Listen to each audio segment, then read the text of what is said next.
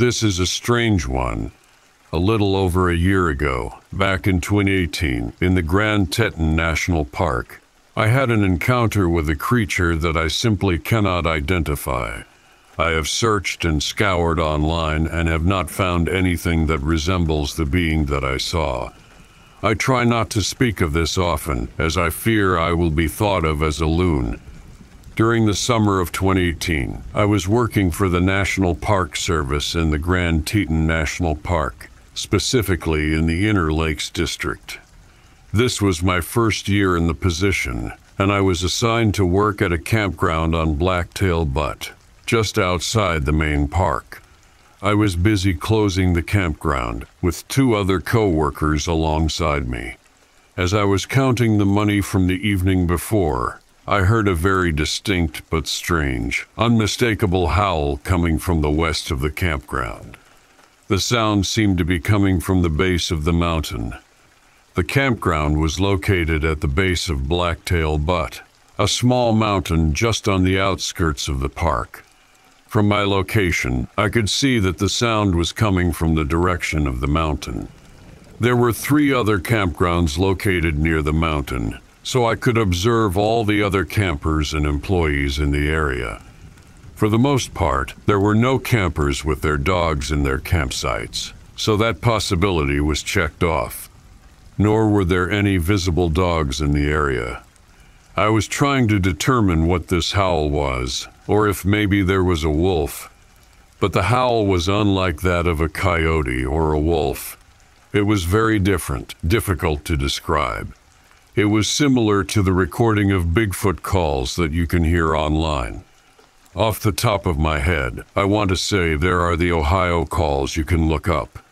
I'm sure it's on YouTube, as is everything nowadays. I continued to listen, and as I did, all the other rangers in the area seemed to listen as well. I began asking my co-workers if they had heard the sound, but apparently nobody had heard it from their location. I felt silly, so I kept my mouth shut. After a few moments, I heard another howl, similar but not exactly the same, coming from the same location. I have never heard a coyote or a wolf make a sound like this, it's hard to describe, really. It was then that I realized that none of the other rangers were acknowledging the sounds. They acted strange, nervous, and quick eyed. It felt as though they had heard it, but were choosing not to say anything. What did they know that I did not? Just as I was almost ready to pack up and leave, I heard a co-worker on the radio. He was calling for a minute. As I was leaving, I could see a person walking in the area of the howls. They were staying in the tree line but moving steadily up the mountain. I got closer and asked my coworker if he had seen anybody in the area. He told me that he, too, had been walking around and patrolling the area. I informed him of the sounds I had heard. I wasn't sure what they were, but they were coming from the back part of the campground. He got nervous almost instantly, the second I brought it up. He got close to me and whispered in my ear that he's pretty sure he saw a tall, dark figure moving around on the back section of the park. He said he didn't get a good look at them and claimed he did not want to. He felt an immediate sense of danger and fear. As he spoke to me, I could tell from his voice and body language that he was genuinely concerned. I drove a little bit further, trying to see what it was that he saw. He had told me it was on the back section of the park, and that's exactly where I went. After a while, I'm pretty sure I saw what he saw because what I saw was approximately seven feet tall and had the same dark color. I tried to get a better look at it, but I could tell it was right near the edge of the tree line, it had already moved into the tree line, coming from a large meadow. I even told my other rangers about it, but they would not speak to me about it. In fact, one told me to stop talking about it if I knew what was good for me. This particular ranger has not spoken to me since and refuses to. After I saw this thing enter the tree line, I decided not to follow it. Another thing to keep in mind is that it was pouring down rain during this time, and even then, the ground was hard. There should have been tracks. I went back later to look, but I did not find any, especially in the wet portion of the grass where I saw this thing enter the tree line. It was very strange how I did not find any tracks at all, be it boot prints or animal tracks. After returning to the office, I kept hearing the howls again, almost all night. This time, there were multiples, one coming from the north end of the campground and the other from the east. My belief is that there were two of these creatures communicating back and forth with each other. So now, if I ever hear or experience anything strange, I don't really talk about it with my colleagues. For whatever reason, they seem hell bent on keeping everything a big secret or conspiracy. I'm not really sure why, but they refuse to talk about it. Perhaps the refusal to acknowledge the existence of these creatures helps them cope with day to day life. But for me, I'm trying to get to the bottom of it. Lastly, I would like to assure you that what I saw was simply not a person, nor was it a person in a costume, because what I saw could not be explained as such. The proportions were so off and distorted that it would not make sense. The movement alone was different. I also apologize in advance for not having the most descriptive story and account, but you get what you get. Thank you greatly for taking the time to listen to my story.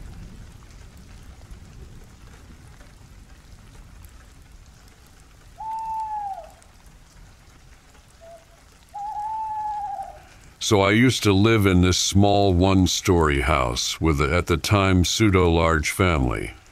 Three kids, me included, and my mom. So the house had this added on living room. It was a recent addition to the house that I guess the original owner decades ago didn't want, but was added after he passed. Now, I am not superstitious or anything. But that whole room felt off like it was uneven and slanted even though it wasn't. It gave me the chills to be alone there. One night I leave my room for some reason, probably because I was scared or something, and I slept on the couch in the living room because it is in eyeshot of my mother's room and very close to it.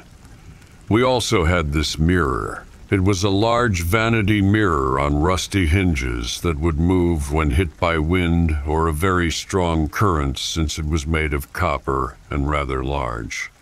So I'm sleeping in the living room, or trying to, and then the mirror starts to move. Now it is stagnant in there, like no air current. The heaters aren't blowing. Nothing. And this big ass copper mirror rotates and faces me while I am on the couch. It turned real slow, too. It squeaked and everything and bothered the hell out of me. It lasted an eternity. Couldn't sleep all night and laid awake facing away from it. The following morning, when I got up and walked over to my mom's room to wake her up, the mirror was silently turned back to its original position. I don't believe it was anything supernatural, but it freaks me the F out to this day and I'm glad I never have to set foot in that room again.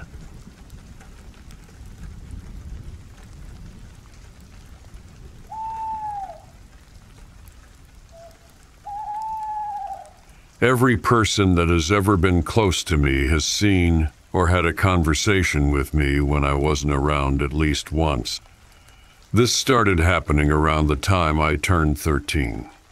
I had an early day at school and decided to hang out at a friend's house instead of catching the bus home. Stayed for a few hours and walked home. When I got into the house, I heard my mom speaking to someone upstairs, which was unusual since we were normally the only two people there at any given time. When I turned the corner to see what was going on, I saw her looking into the open door of my room and heard her having a conversation. Obviously confused, I asked who was over, at which point she jumped, turned around, and got white in the face. At the time, she told me she was on the phone, but later confessed that she thought I had been home since school got out and was trying to wake me up from a nap. A few years later, I got into my first serious relationship.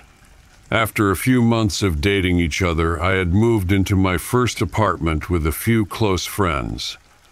One night while she was staying over, I was awoken and saw that she was crying.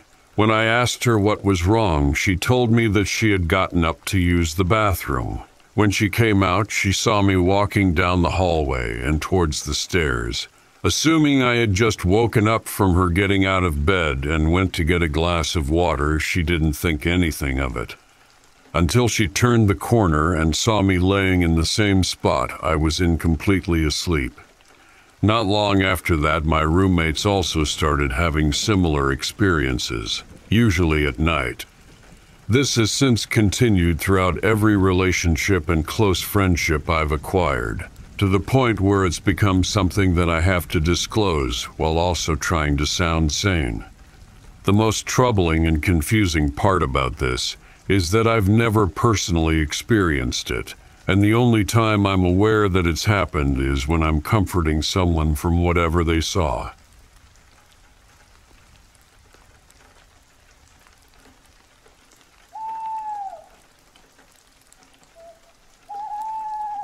This happened in the middle of nowhere, Missouri, at our house, and it has two parts. I'm not sure the two parts are related, but I've always thought that they were. First part is that I'm 16 and I get home from school, and there are two guys sitting on my porch. Keep in mind, I'm in the middle of nowhere, so they see me, and I see them, and it's not like I can turn around. So, being 16, I get out and go talk to them. Turns out they are basically bums or hobos that live on the rails. Funny thing is that they are at least 10 miles from the rails, and I have no idea how they picked out my house from the dozens they passed. Anyway, I start talking to them, and one is a larger guy with a beard that is doing all the talking and giving me the full on, oh, I'm down on my luck story. The skinny guy was not saying a word and kind of on reflection acting drugged up. They want me to give them a ride to the YMCA, which is about 25 miles away. Being 16, I think. Why not? About that time, my mother comes home and freaks out. Calls the sheriff, and he comes and picks them up. Doesn't arrest them, just has them transported to a shelter. I talked to the sheriff later, and he says that he ended up taking them to the YMCA for the night. No big deal. Then it gets a little weird, and this is when I've always wondered the connection. My mother goes out of town to stay with her sister for the weekend. Not a huge deal. I was 16 at the time, and it happened every few months. About 1 a.m., I start hearing a noise downstairs. Not loud enough to wake me up and make me say, holy shit, someone is breaking in, but loud enough to wake me. This goes on for about 20 minutes or so, and I'm finally awake. I turn on all the lights but don't go outside. At this point, I'm about half freaking out. The noises aren't loud enough that I think something is wrong, but they were loud enough to make me go. WTF. Nothing happens about 45 minutes later. I go to bed, but have opened the blinds and looked outside. I'm laying in bed again, thinking to myself, well, I didn't see anything. It sure was dark out there, and I realize, hey man, you have a giant ass overhead street light on an electric pole outside that is always on.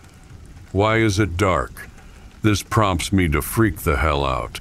I get up and, of course, load up a shotgun, grab a few cans of Dr.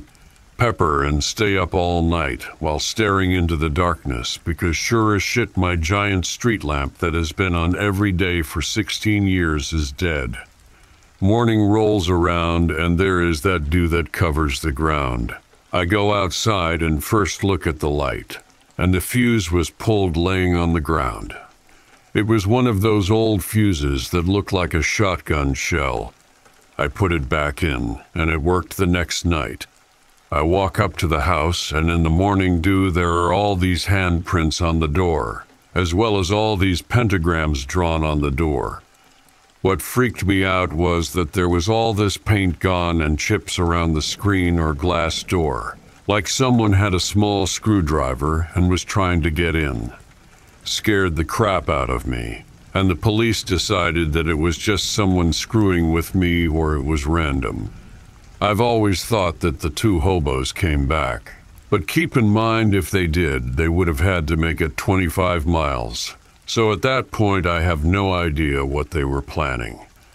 Also, my mother thought I was making the whole thing up. She thought I was doing a practical joke and couldn't figure out the punchline. She stayed at the sister's house.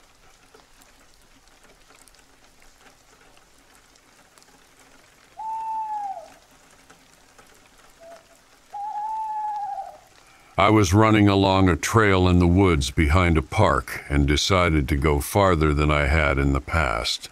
So I was running along, and there was this old, beaten stuffed animal sitting alongside the path. Kind of weird, but I kept going. A little farther along the path, there was a weathered doll sitting on a stump. They weren't super visible, but enough to catch your eye as you went past. I kept running, and then turn a corner to see a couple dozen stuffed animals and dolls stabbed to and hanging from the trees. Safe to say, I promptly turned around.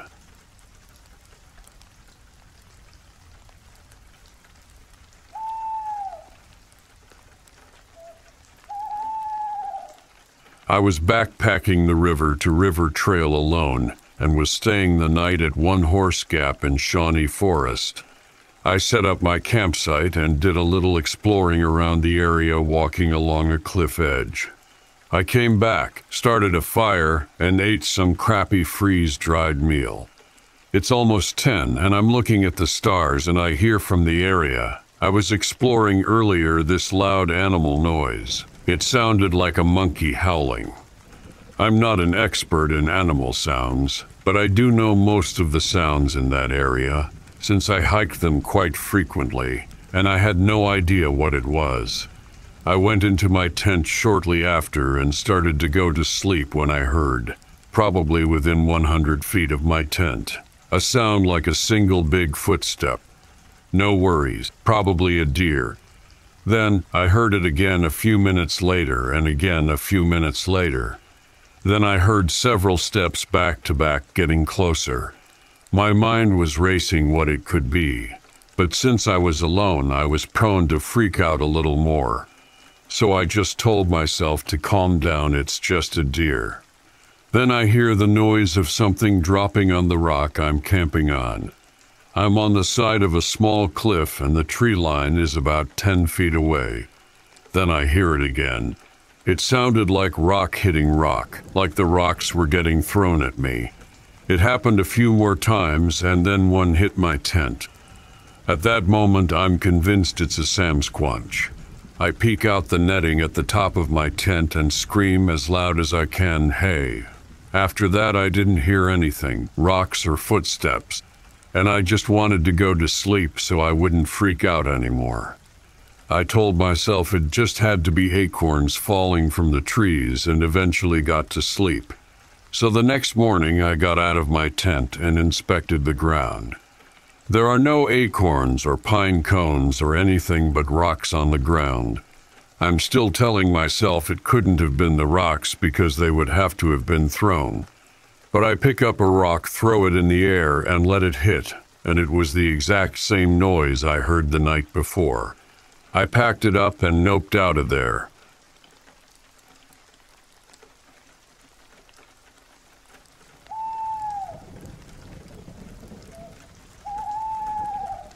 I'll never forget that day at work when my coworkers and I found ourselves discussing paranormal experiences. It had been an unusually slow day at the deli with hardly any customers, so we decided to share some spooky stories to pass the time. One of the deli workers had a particularly chilling story to tell. He recounted an incident that had taken place about a year back when he and several friends were having a BBQ and decided to spend the night at his house. The way he told the story made my spine tingle with anticipation. According to him, they were all gathered on the back porch, just enjoying each other's company and talking late into the night. Everything seemed perfectly ordinary until, out of nowhere, one of his friends let out a startled yell and pointed towards the tree line. All eyes turned to where his friend was pointing, and there, standing by a tree, they saw what appeared to be a human figure. The atmosphere on the porch suddenly shifted, and a sense of unease settled over the group. They were all frozen in place, trying to make sense of what they were seeing. But the terror didn't end there.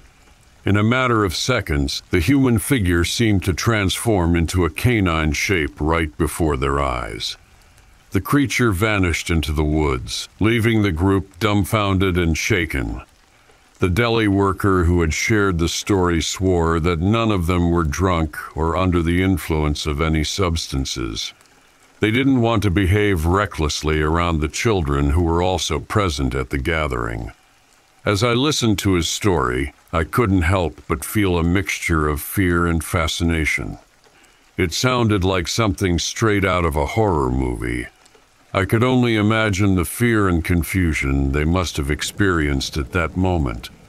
After hearing this tale, the curiosity in our group grew, and we couldn't help but wonder what they had encountered that fateful night.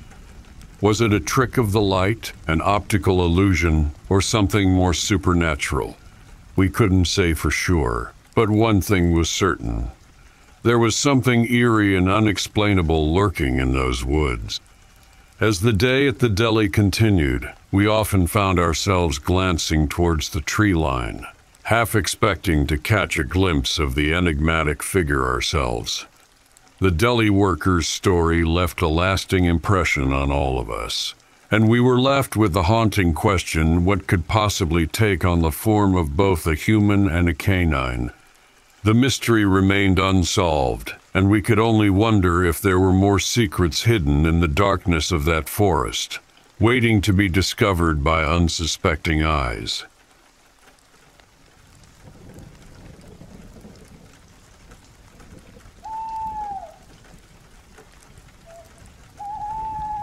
We were investigating a campsite surrounded by blood and lots of reported Bigfoot activity. As we were patrolling the area on the lookout for any suspicious activity, we heard something heavy crawling through the brush, breaking branches as it moved.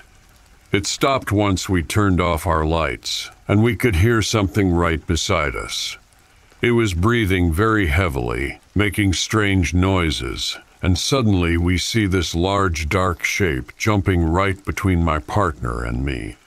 Before turning around to face us, it was at least eight feet tall, about five feet wide, and had yellow glowing eyes in the darkness.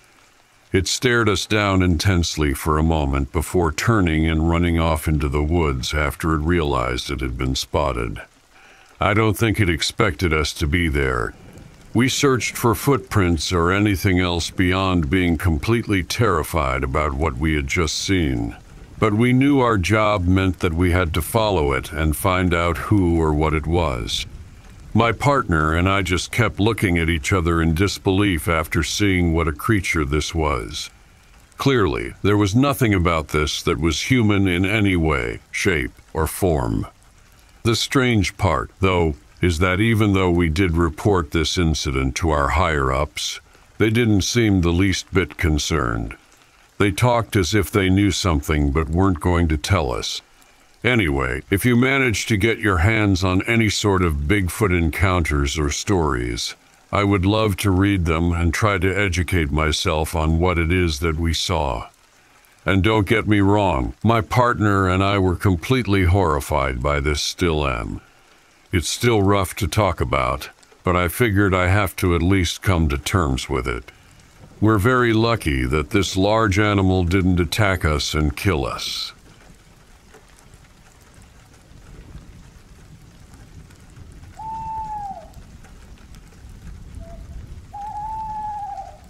Eight years ago, I found myself in Bend, Oregon, a place that seemed to harbor whispers of the unknown.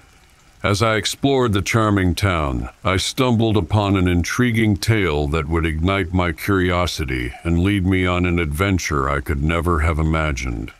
I had the chance to strike up a conversation with a lady who had camped near Paulina Peak, a majestic peak that stood tall at 7 897 feet.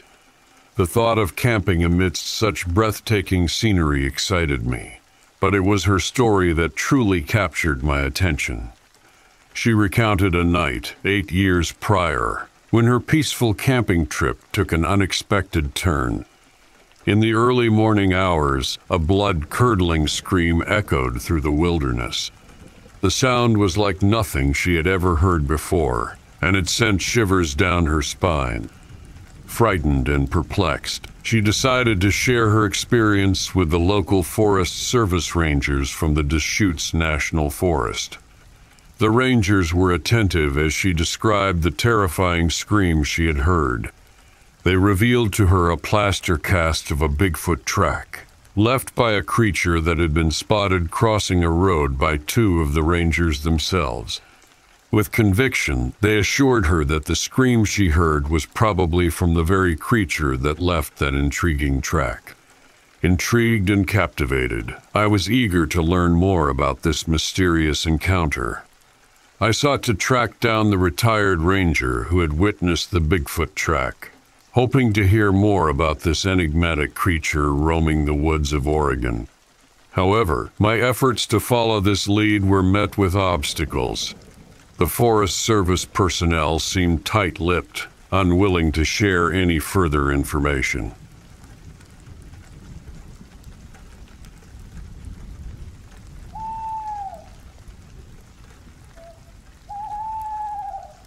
So basically, I was with a group of friends walking from one condominium to another. There was a forest between these condominiums, with a fence dividing it from the sidewalk. I was behind the group with one of my friends. We were walking through a slightly dark part of the street, and suddenly both us saw some some white thing in one of the trees. It looked like a slime, and it was moving in a really weird way. Had no legs, no face, and it was a really powerful white, like there's no chance it was a light or something else. I called for the other guys, and as I shouted, it started climbing really fast in a really bizarre way as if I scared it. I turned on the lights from the phone to see if I could find it, but honestly, I was scared too, and my heart started beating fast. So I just started running away with my friend. It was so good to have him there, because we talked later and both of us saw the same thing and even complimented each other as we talked. So I was sure I was not hallucinating. Of course, none of our friends who were in front of us believed in what we said. Some of them got intrigued, but I wouldn't blame them for not believing it, as I wouldn't blame you. It was really strange. It was like that venom slime, but white. It's my only encounter with something that I just can't explain what it was. It really looked like it was not from Earth.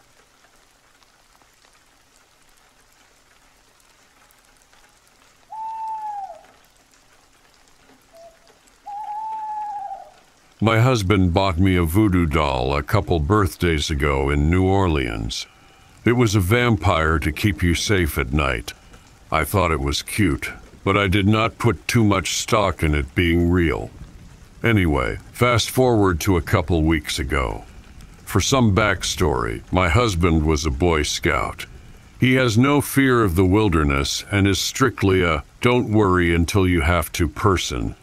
We had been camping for several days at this point, so I was not spooked either. It was a very normal, happy night. When we arrived at this campsite, I got the idea to grab our vampire. We normally keep him hanging in our car. He would not budge. I'm talking my husband, and I both tried to get this clip to open for a good 10 minutes, and it just wouldn't. We thought maybe it had melted together in the heat. Joked that he needs to stay in the car for some reason we are unaware of and we went about our day.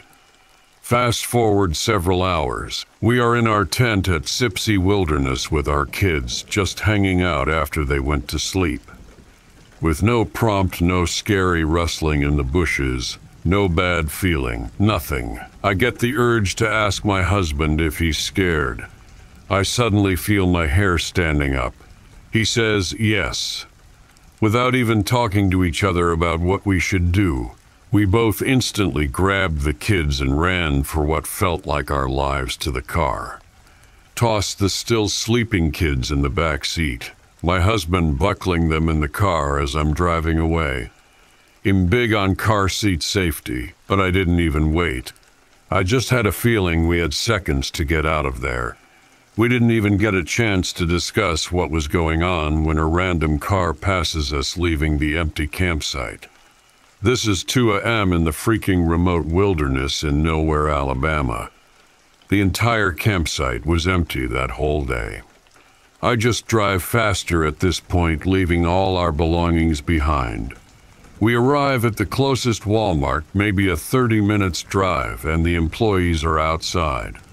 Walmart is closed. Seriously, there are about 10 employees outside just staring blankly at our car. If anyone has an explanation for this, please let me know. It was eerie, but this may not be anything.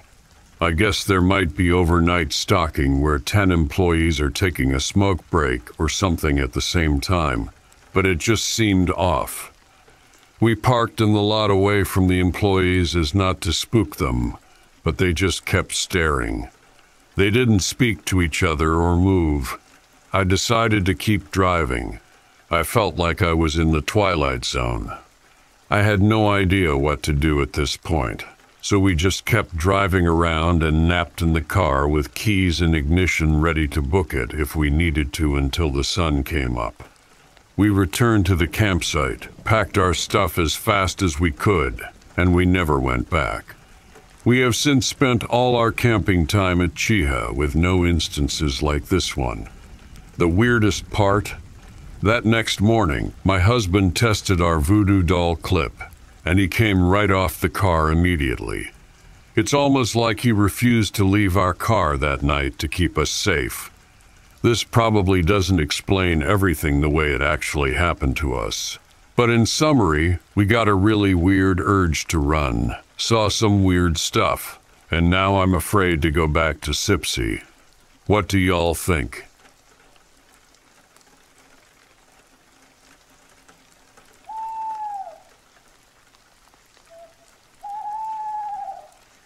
So I was hunting with my dad up in the mountains a few years back, and we had called it a night and returned to camp. After more than a few beers and some whiskey, we went to bed. Now we weren't sleeping in tents or anything, just some ancient army cots under the stars. After dosing off, I hear our old ice chest open and then thud shut. And that old ice chest had a very loud and squeaky hinges, so it was very noticeable. I assumed it was my dad getting a water bottle. A few seconds later, it happens again and repeats a few more times. So I turn over to ask my dad how is he so drunk that he can't operate an ice chest to find he's still asleep and snoring next to me. I reach for my maglite and shine it on the ice chest to find a black bear rummaging through it. He takes one look at me and runs off with something while I yell at him. Later the next day, we find the bottle of Crown Royal a few feet away from camp unopened. We always share a laugh about that alcoholic bear. In 1999, I was working at a state park in Pennsylvania and got to know the back areas of it pretty well. The areas most tourists do not get to see. Approximately one mile from the park on a long all-dirt road was a large clearing in the woods which was cleared for power lines and gas well use. Once you got to that spot, you would have to walk over a long hill until you came to an old abandoned trail. If you followed this trail, it would take you deep into the forest. Once day I followed it and found that it led to an old dilapidated cabin, not on the park cabin records, and it looked like it hadn't been used for many decades. Even though it was daylight, I still got this creepy feeling like I shouldn't be there and worse. That something was watching every move I made. A few weeks later, while I was off duty, two of my friends and myself were just out driving around enjoying the summer night, and since I knew all the back roads, I was taking them on kind of a tour note. None of these roads are off limits or secrets, so I wasn't breaking any rules. Other than that mysterious cabin, the park hasn't any secrets. About 11 p.m., I came to that familiar clearing, and I mentioned something about the old cabin. Being a brave soul, I talked them into letting me show them the cabin. So I grabbed my flashlight, and we took off down the hill and onto the path that led to the cabin. I took the lead and we walked halfway when all of a sudden my light flashed on something on the right side of the path. Almost immediately I stopped and said, Did you just see that? To which they responded, See what? As I panned the light back to the right side of the road, I said, That! There standing by a tree was a creature only seen in sci-fi movies. It had a grayish olive color skin and very thin in its extremities. The calves and forearm muscles were very large as well was the chest.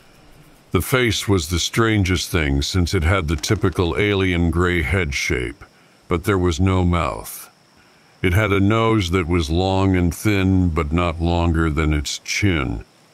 The eyes had a reddish gleam in the light, but not the size of most reported aliens very small even by human standard.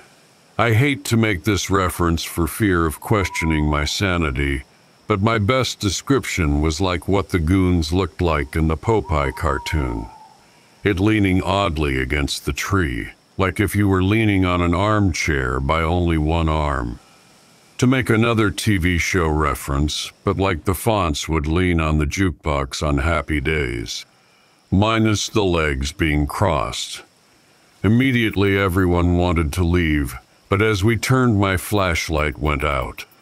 My friends told me to quit messing with them and turn the light back on to which I informed them that I wasn't messing with them and to keep moving now that I was at the back of the group.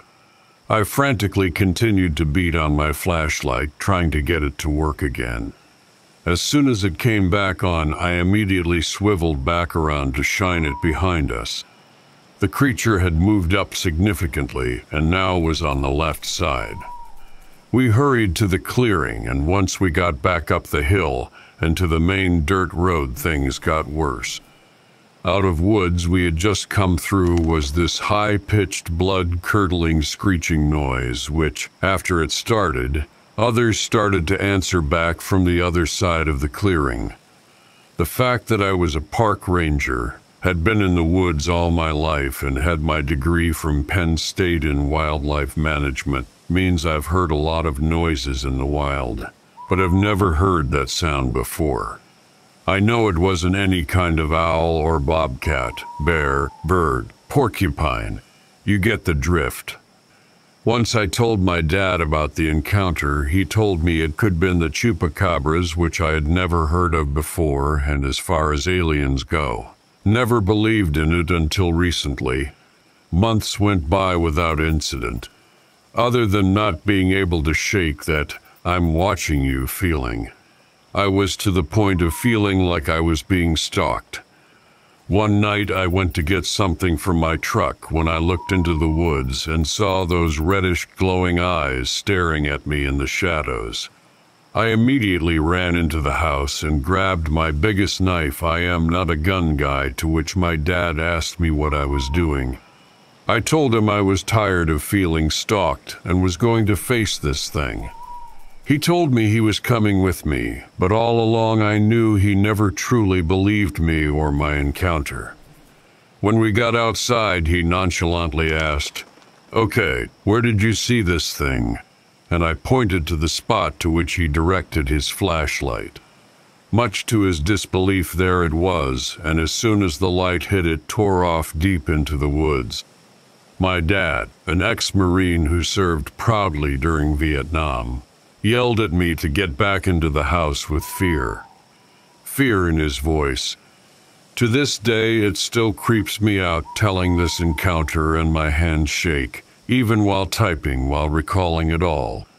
I am now in my 30s with a wife and kids, but even now, when I go outside at night, I still feel watched to the point that when I get a real strong feeling my wife won't let me leave the house without her. Just as a side note, for the first five years of our relationship, she too would catch sight of this creature, but mostly as it was going into the shadows. As a further note, if anyone is questioning it, there were no drugs or alcohol or any other substance involved during this or any other encounter I have had.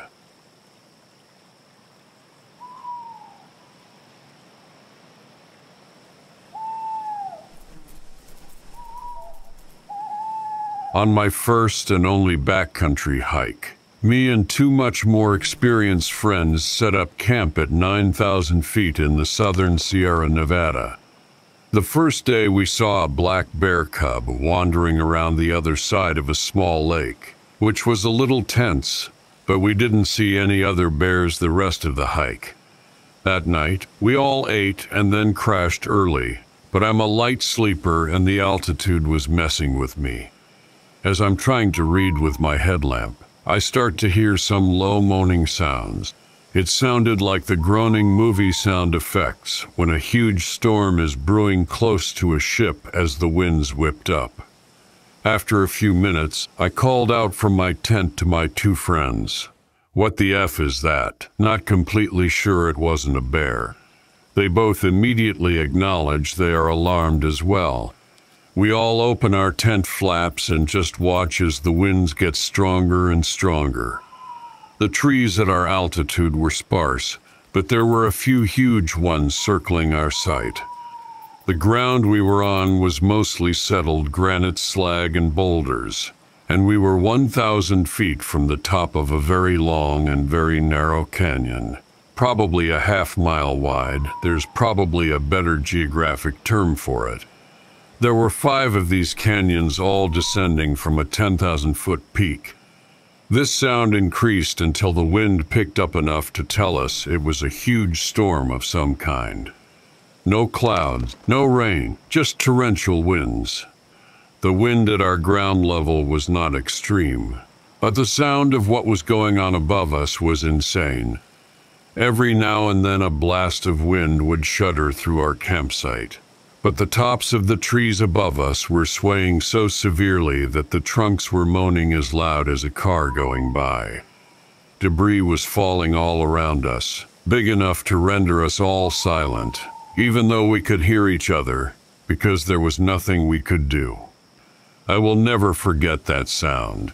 It almost sounded like a huge steel tanker crashing against rocks, with a low growl and a high-pitched squeal. With every growl came a huge gust of wind that plunged down the rocky slope in a vortex that passed maybe a hundred feet over our heads. I'll never forget watching those treetops bend to a frightening angle and then the residual blast of air that hit a few seconds later.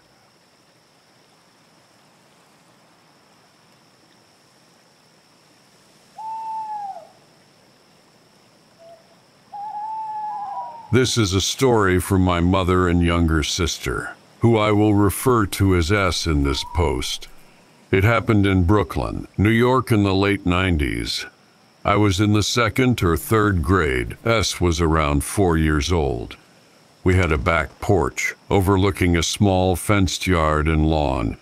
We'd get the occasional regular sized praying mantis. According to S, one day she was playing in the yard while my mom was hanging laundry up on the back porch. Apparently, this thing just suddenly materialized right there in the middle of the yard, because it says she turned around and there it was. She just stared at it for a few moments, not sure if it was a toy or what. She said it looked like a two and a half to three foot long, praying mantis with big red eyes and tiny black pinpricks for pupils. When the fear finally hit her, S ran up the stairs shouting for mom. All she could express at the time was that it was a big bug. My mom barely reacted off because kids get scared by normal bugs all the time. Well, the damn thing followed us up the stairs. For so long, I've imagined what that must have looked like. It's convinced my mom to go inside with her. That's when mom finally saw it, while she and S were watching it from inside through the mesh door. The praying mantis perched itself in one of the chairs on the porch. Not like on the top of the back cushion or on the armrest or something, just in the chair proper. When my mom went looking for a camera, all at once it just disappeared. I asked if it flew away, but neither of them have an answer. It was gone as instantly as it showed up. When my dad brought me home from school around a half hour later, they were still hiding behind the mesh door looking terrified. I never got this full version of the story till S was older. For years, she would become hysterical if she ever saw a praying mantis or even the image of one. I wonder about what this thing could have been or why it only showed itself to Mom and S.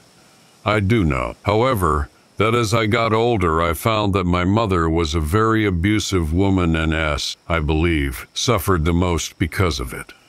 Makes me wonder if one of the people I've told this story to is right about it being a demon, or at least a bad omen.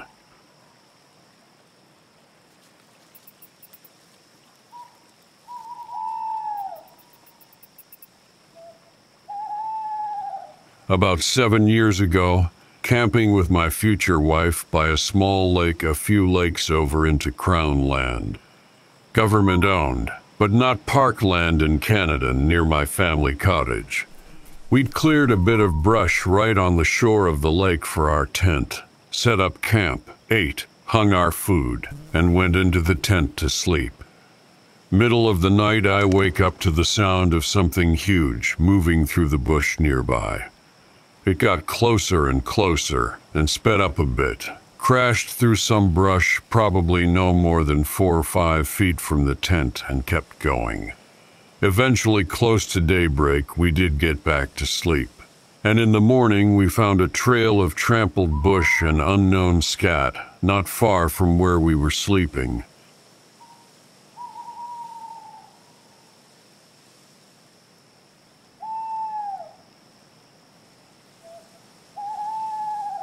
I go camping quite a lot, and by camping I mean in the middle of nowhere. This one time I was trying out my new hammock on a five-day backpacking trip near Minden, Ontario.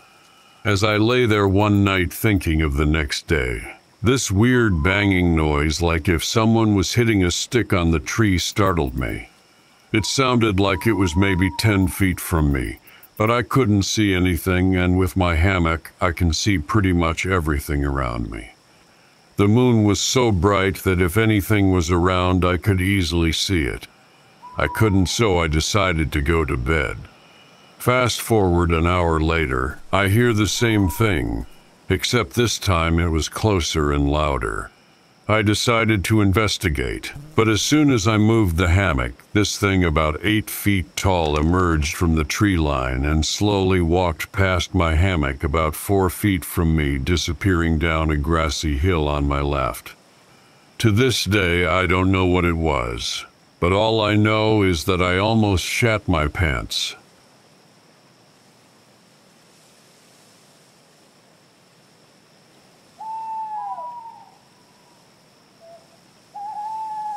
So someone was following me home yesterday, and now I don't want to leave the house. I-15F was walking home from the store yesterday, and I saw a black box car drive past me extremely slow, and the man in the car clearly watching me. And when he fully passed me, I saw him watching me in his rear view mirror. I thought it was weird and slowed down my pace, so that I could tell if he was waiting for me or just a slow driver. He was still driving extremely slow, but moved a little when he saw two guys riding past on bikes. He then moved to the edge of the short street we were on and waited there. I was still towards the beginning of the street, so I acted like I forgot something and turned around to get out of his sight. I waited and kind of peeked out to see if he had left, and when I saw he was gone, I continued walking. I didn't think it would happen, but I made a mental note that if I saw the car behind me, it meant he circled back around. After I continued walking, I made three turns and was three turns away from my house. When I was walking up a little hill and almost at the fore turn, I looked back and saw the man at the corner I had just turned from, letting me know he circled back around to find me. He sat there watching me continue walking until I got up the little hill and turned the corner. Then, as I had just barely made the last turn and was close to my house, I saw the man's car just turn the corner up the street, straight across from the way I was walking, waiting there. I pulled out my phone to call my mom and walked the other way, and he left soon after I pulled out my phone. My mom came out and walked with me back to the house, and I didn't see the car for the rest of the day. But I keep thinking, he knows what neighborhood I stay in. What if he comes back? What if the next time he comes back I'm out by myself again? What if no one's home to call?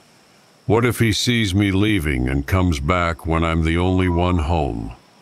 I'm so scared he's going to come back I don't want to go outside.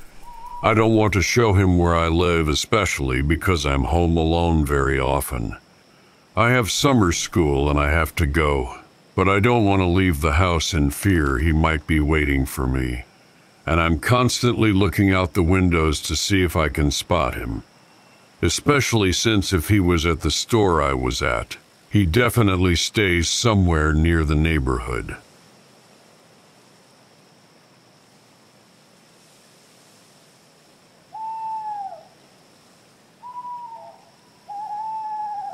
Okay, so ever since I was five, I have been sensitive to energies. I see ghosts and speak to dead people and such.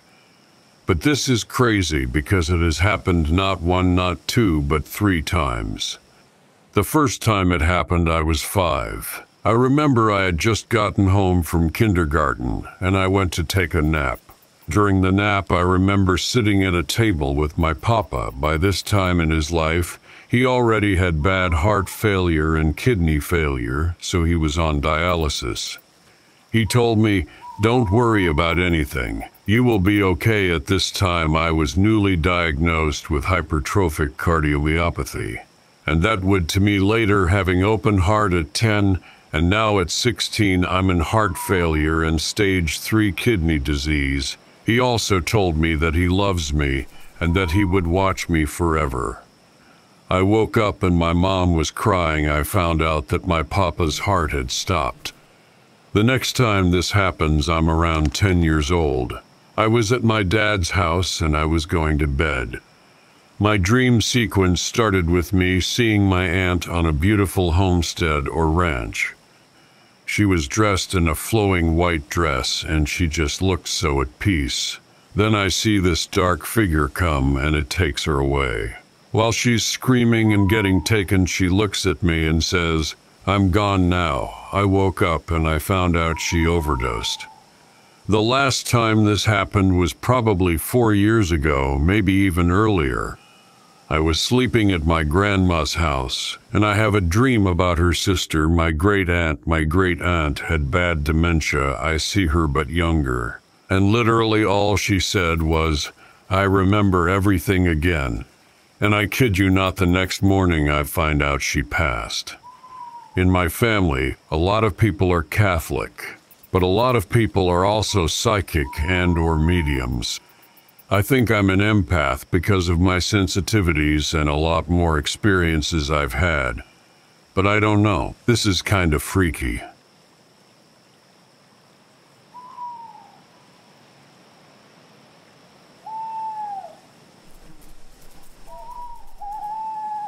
So to sum it up, I agreed to taking care of this family's dogs for five days, and the dogs have been great. Happy, healthy, normal pups in a somewhat seemingly normal house. I met the lady prior to coming and even came in the house, and things seemed normal.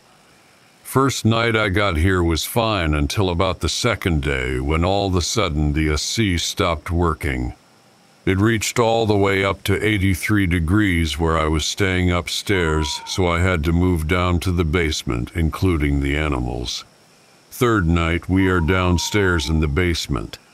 Prior to going to sleep, I left my phone plugged in vertically on the nightstand next to me and had all the dogs in their spots for the evening. I wake up at 4:30 a.m. I can tell by my watch to my phone being unplugged from the wall and phone completely dead. I then thinks that's strange because Ernst is no way I could do that in my sleep, but whatever. I get up to go use the restroom and I hear something in the bathroom. The shower was turned on and running water was going straight into the drain. With that being said, there was water soaked all over the ground. I had to use six towels to clean it up. Then the next day rolls around and I decided to give one of the dogs a bath in the upstairs shower at this point. The AC guy came out to fix it and said there was nothing he could do until he was able to check the pressure within a few hours he would come back. He never came back, and the AC went back to normal when all of a sudden the whole shower rack falls on my head and almost hit the dog. Anyways, as the night unfolds, I slept fine, but I woke up at 7:30 a.m. to let the dogs out and I go to look at my phone and the charger is bent and stuck inside my charging port. Now I have to use a different one. It's my last night here, and I don't really know what to expect now. Maybe I'm just overreacting, but something just doesn't feel right. Is this maybe something paranormal? Or just paranoia lol?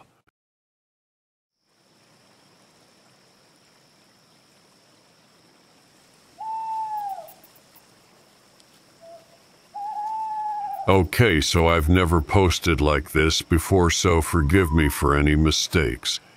But about an hour ago, I headed to a nearby lake, a place I usually go for my therapy sessions because it's usually pretty serene and peaceful.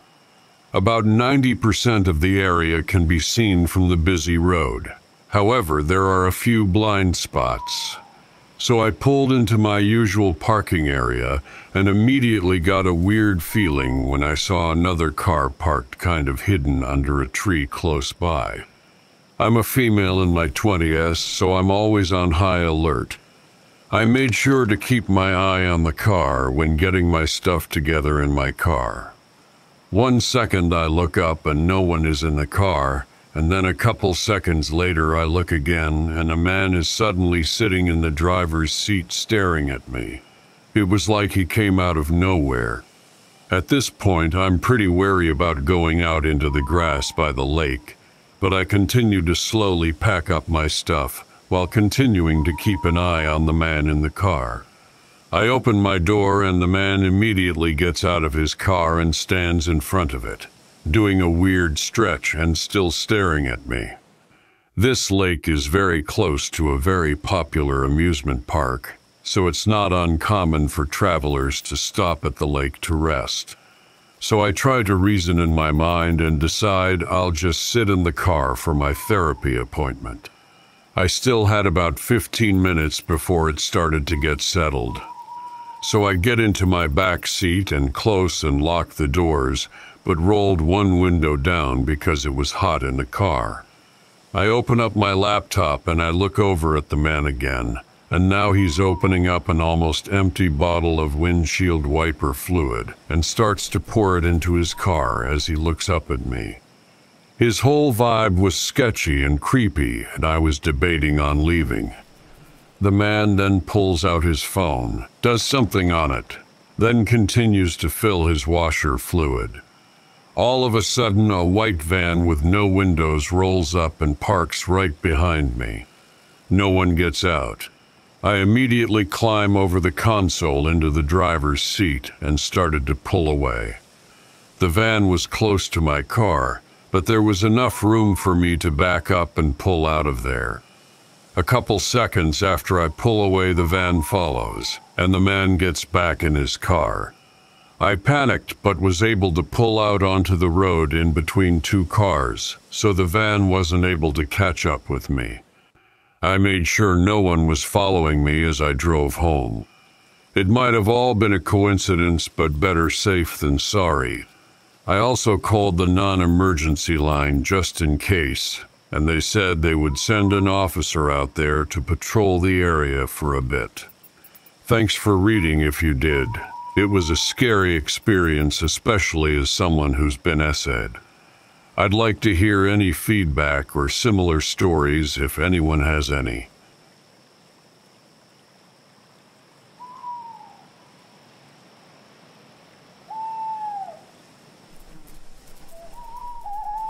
When my uncle was in his teens and early 20s, he used to go on a yearly backpacking trip in the mountains of the Pacific Northwest near Mount Baker National Forest with a group of friends.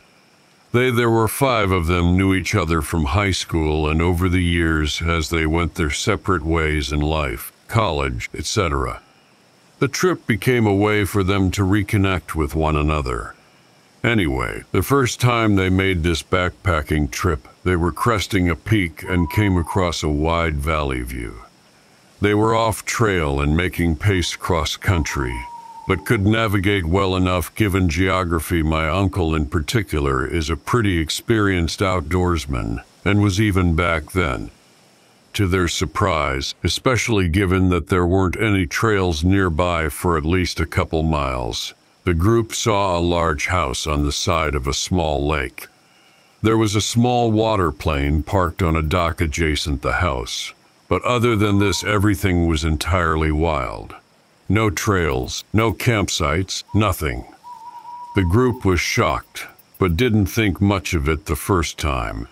It seemed to be a pretty rad house, so they assumed it belonged to some rich somebody and that it was just a private retreat. It was still pretty cool though, so they decided to return to that mountain crest every time they went on this trip to look at the house.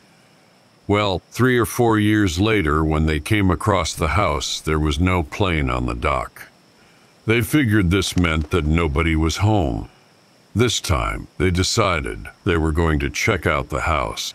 So they made their way down, which took a while through the thick, trail-less forest. What they came to was a remarkably fancy modern style cabin home. Three floors, huge windows, a massive deck with a state of the art barbecue. Everything one would want in a sick ass hidden mountain retreat. Cool. While they were poking around, a plane landed. Instead of running and hiding, the group decided to explain the situation. So they did when they met a nice gentleman who had flown in. He was very kind and courteous and pleased to show them his vacation house. From then on, each time they went on the trip, they would stop there for a night if the plane was present. Only one year my uncle became curious. What's the deal with this place? So at night, while they were sleeping in the house, he crept around and investigated a few of the many rooms it had. In the basement, he found what explains everything massive piles of weed in brick form stacked row upon row next to stacks of cash. Instead of freaking out, he went back to sleep and didn't tell his friends until they had left the next day. Not exactly spooky, but I feel like it fits in with the vibe of this threat.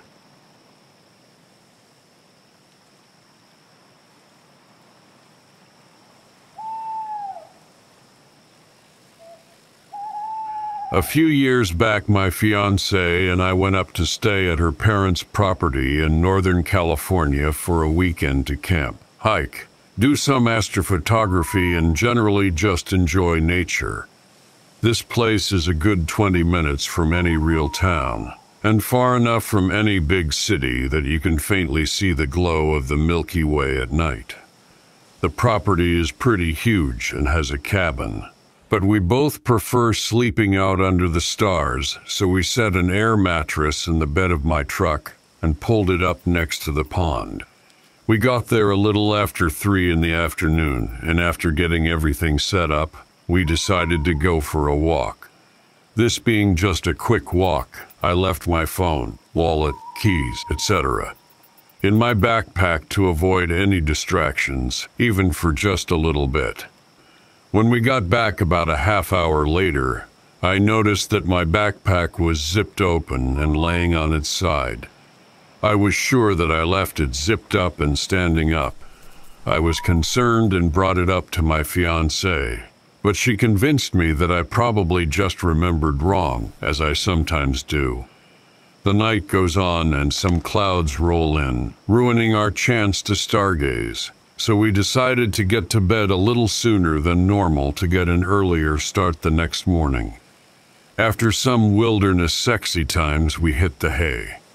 Sometimes I have trouble sleeping at night, so while she sleeps, I'm often left laying there for an hour or so until I'm actually out. It's never bothered me too much, but this night in particular, I remember wishing I could have just fallen asleep. A little while after we both went to bed, I heard something splashing in the pond next to us. I didn't think much of it.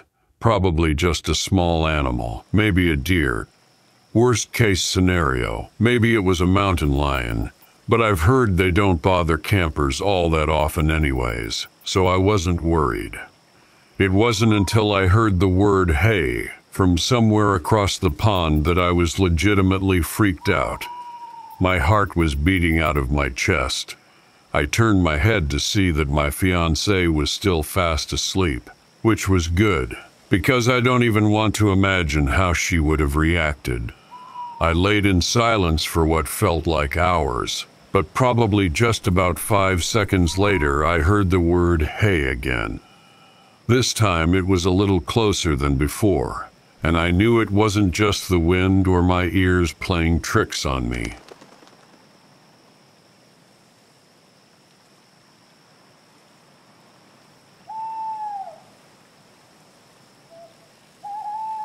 One afternoon in Tempe, Arizona, a man walked into a hotel where I worked. He had a coat on a pea green military type coat and butcher paper, yes.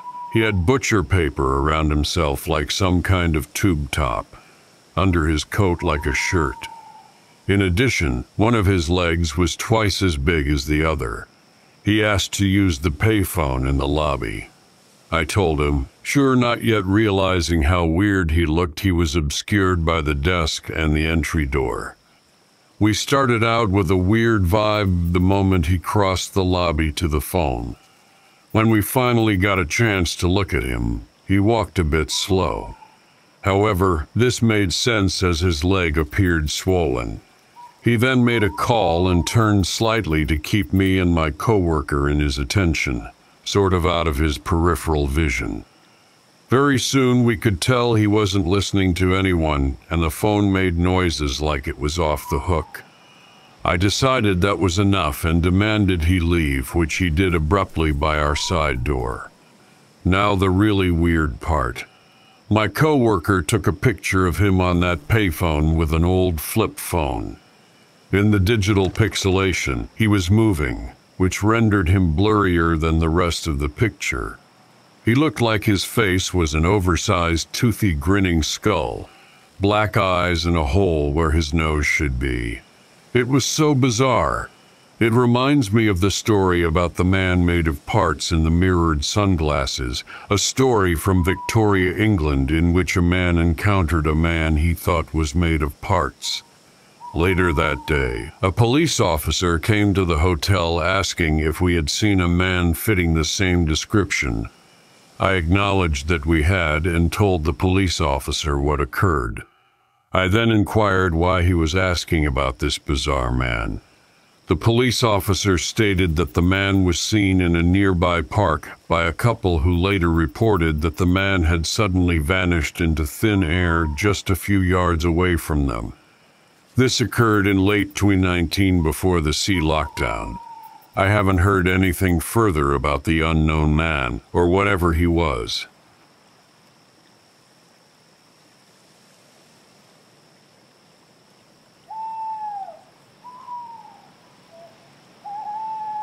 So, I need some advice. I live in the backwoods of NEPA, and yesterday, while hiking into state game lands, I heard my nephew screaming for help.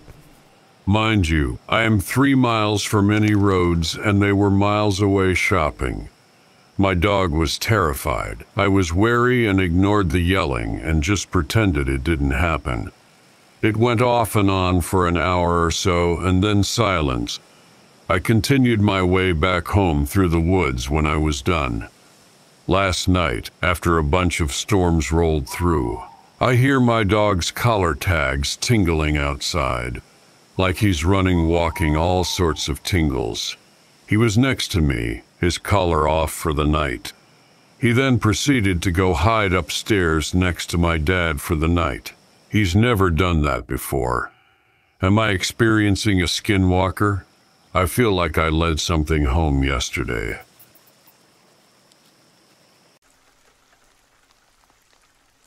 I was told to keep quiet about the story, but I can't, I need explanations. To begin, I'm ex Special Forces. I was a British Army commando after serving as an artillery officer. A lot of my training consisted of forest or jungle survival and got me interested in nature. But Britain didn't have any truly wild forests, so I was left wanting more. A few years later, a transfer opportunity opened up to the US, so I took it, excited by the potential forests to trek through. Long story short, the program I was working on was suspended due to an intelligence cock up. So I got six months of paid leave and met up with my friend who was a park ranger. I'm not giving his actual name or of the park for reasons, so everyone or place names have been altered. Let's call him Jim. We were hanging out at his cabin with his colleague Nick.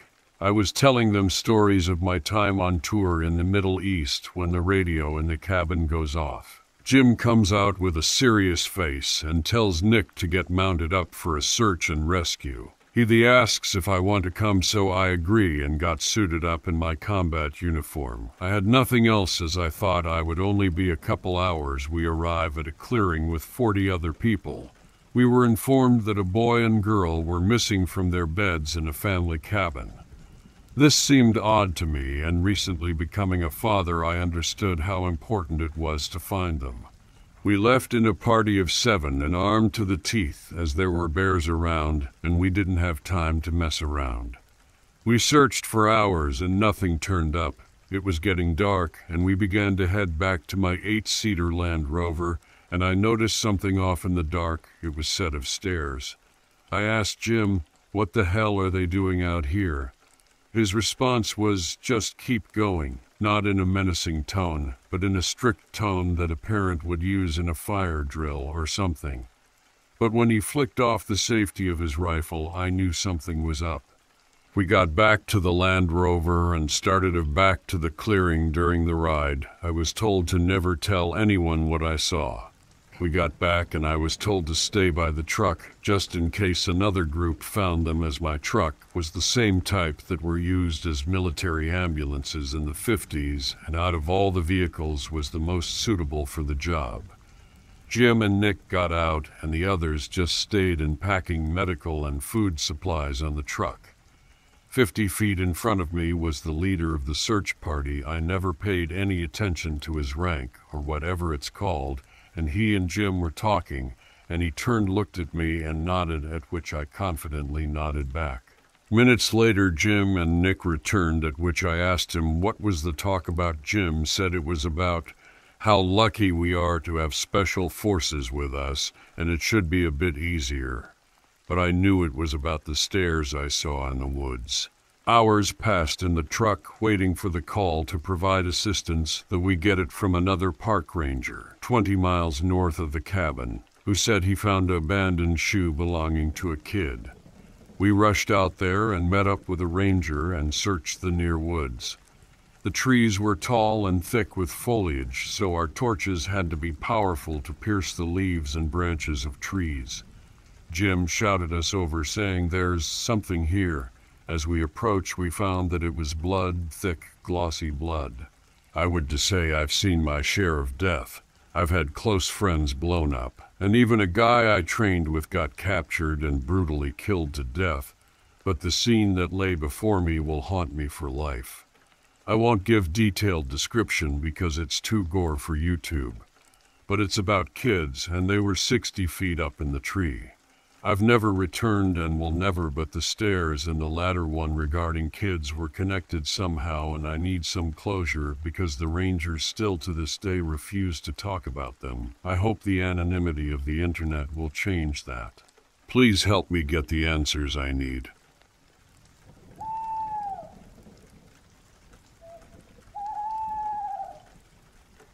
My dad was hiking or stalking. They were in their military grade ghillie suits with four friends near Long Beach, Washington.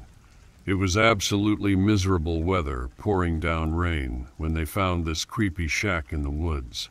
It was situated by a gravel road, and on the road about ten red cars were lined up only red cars, and a huge bonfire was blazing outside the shack. They crept up closer to the shack, and they heard voices. The door then opened and they hid in the brush, and out come about 20 naked people who start dancing in a circle around the fire like a witch party. One of the guys took a break and pissed on the bush my dad's friend was hiding in. They waited a few minutes and snuck out through the woods. They have never gone back. Not saying satanic cult, but all red cars, creepy shack, bonfire, dancing around said bonfire while naked during a storm. Did I mention the place had no address either?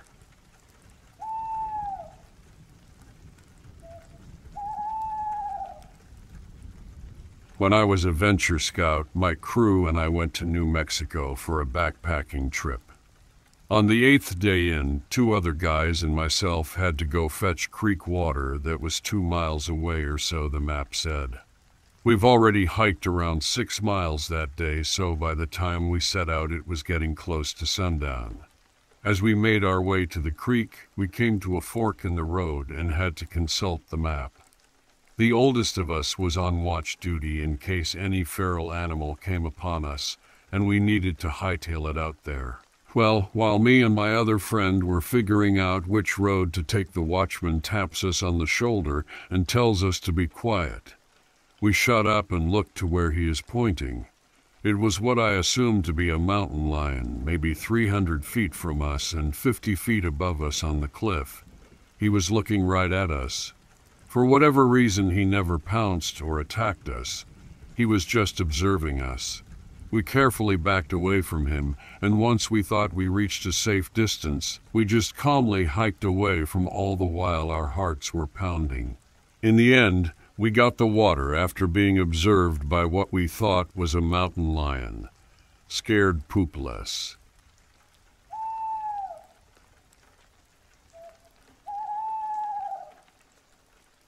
Several years ago, a friend and I were hiking along the Appalachian Trail in North Georgia, and we stopped on a bald hilltop overlooking a scenic valley with pines and dogwoods along the bottom by a creek. It had been overcast all day with rumblings of thunder, but no rain. I was looking down at the bottom of the valley, and suddenly all the trees in one spot started shaking violently back and forth. Then the cloud cover above it dropped like a ton of bricks. It was a moment I will never forget. It looked like the clouds in an area of 100 square meters just fell out of the sky and slammed into the treetops at the bottom of the valley. Branches, leaves, and debris exploded from the trees, resembling something from Lost or King Kong. I half expected a giant gorilla to come bounding out of the tree cover. Then a small funnel cloud formed right above it. Keep in mind, we were about 200 meters away on the top of a bald hilltop. Luckily, the tornado petered out after only a few seconds, and we quickly descended from the top of that hill and down the other side into tree cover. I was so amped up on adrenaline that I had to drink about four or five rusty nails that night to go to sleep. A very awesome experience that I will never forget. We are small and insignificant compared to Mother Nature. We control nothing,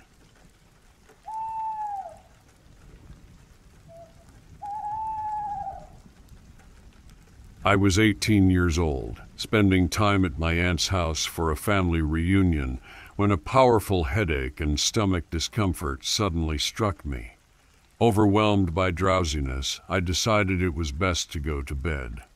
As I closed my eyes, a bewildering shift occurred. I found myself in a peculiar metallic room, lying on a cot like bed, utterly immobilized. Surrounding me were four humanoid beings, each standing at a height of four feet. They possessed a slender physique and wore tight fitting gold colored outfits with matching gold sandals.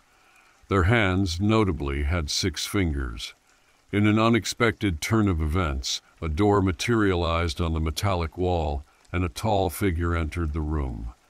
This figure resembled an exceptionally attractive man, with white skin, blond hair, and a radiant aura surrounding him.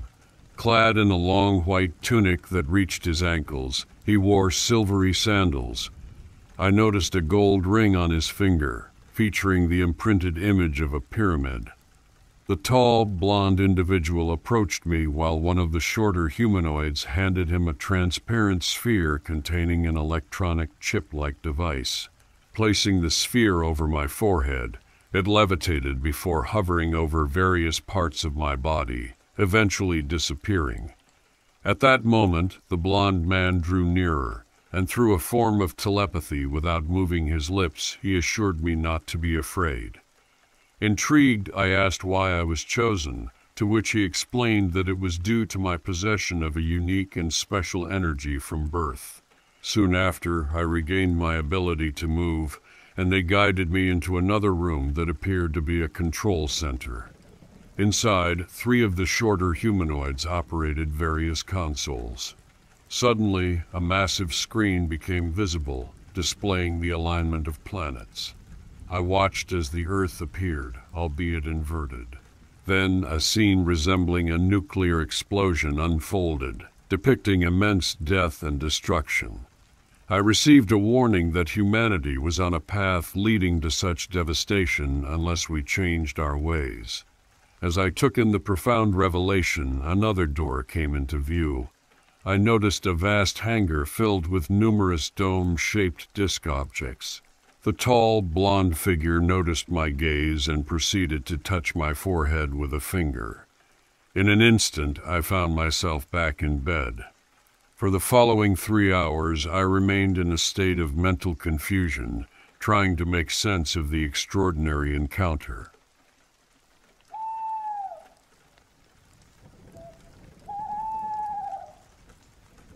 I'll never forget that fateful evening when my friend and I encountered the mysterious creature in the entrance zone of the natural park.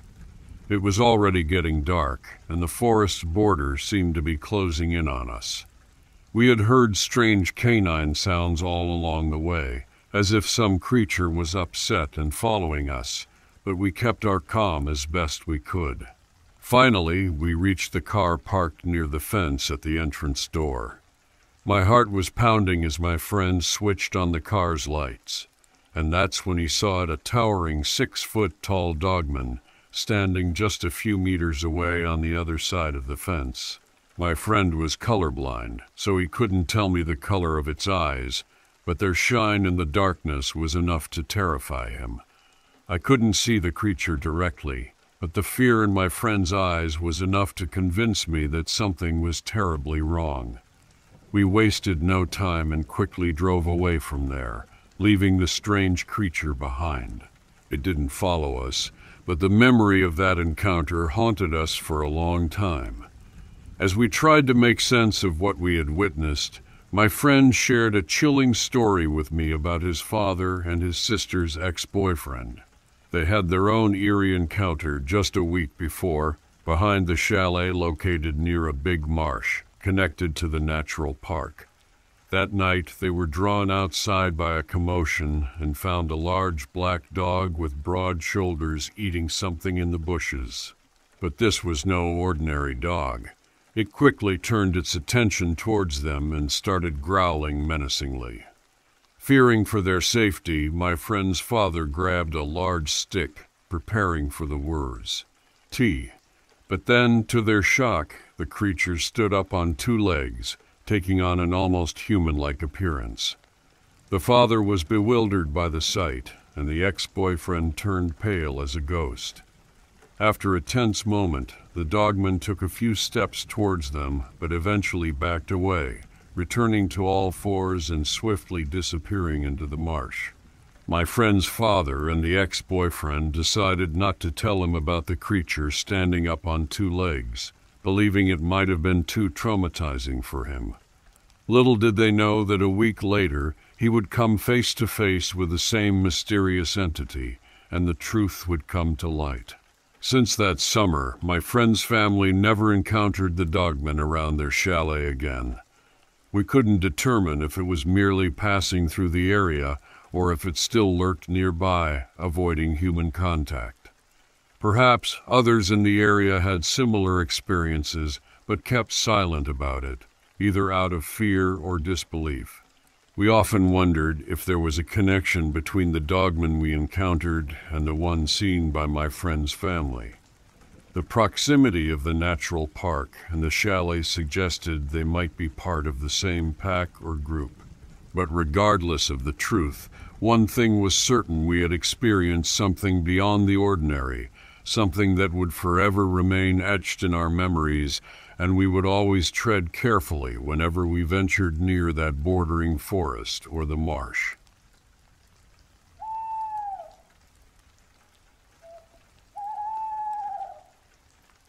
Last summer, I felt like camping one weekend, so myself and a buddy went to a spot he knew about that wasn't too far from where we lived.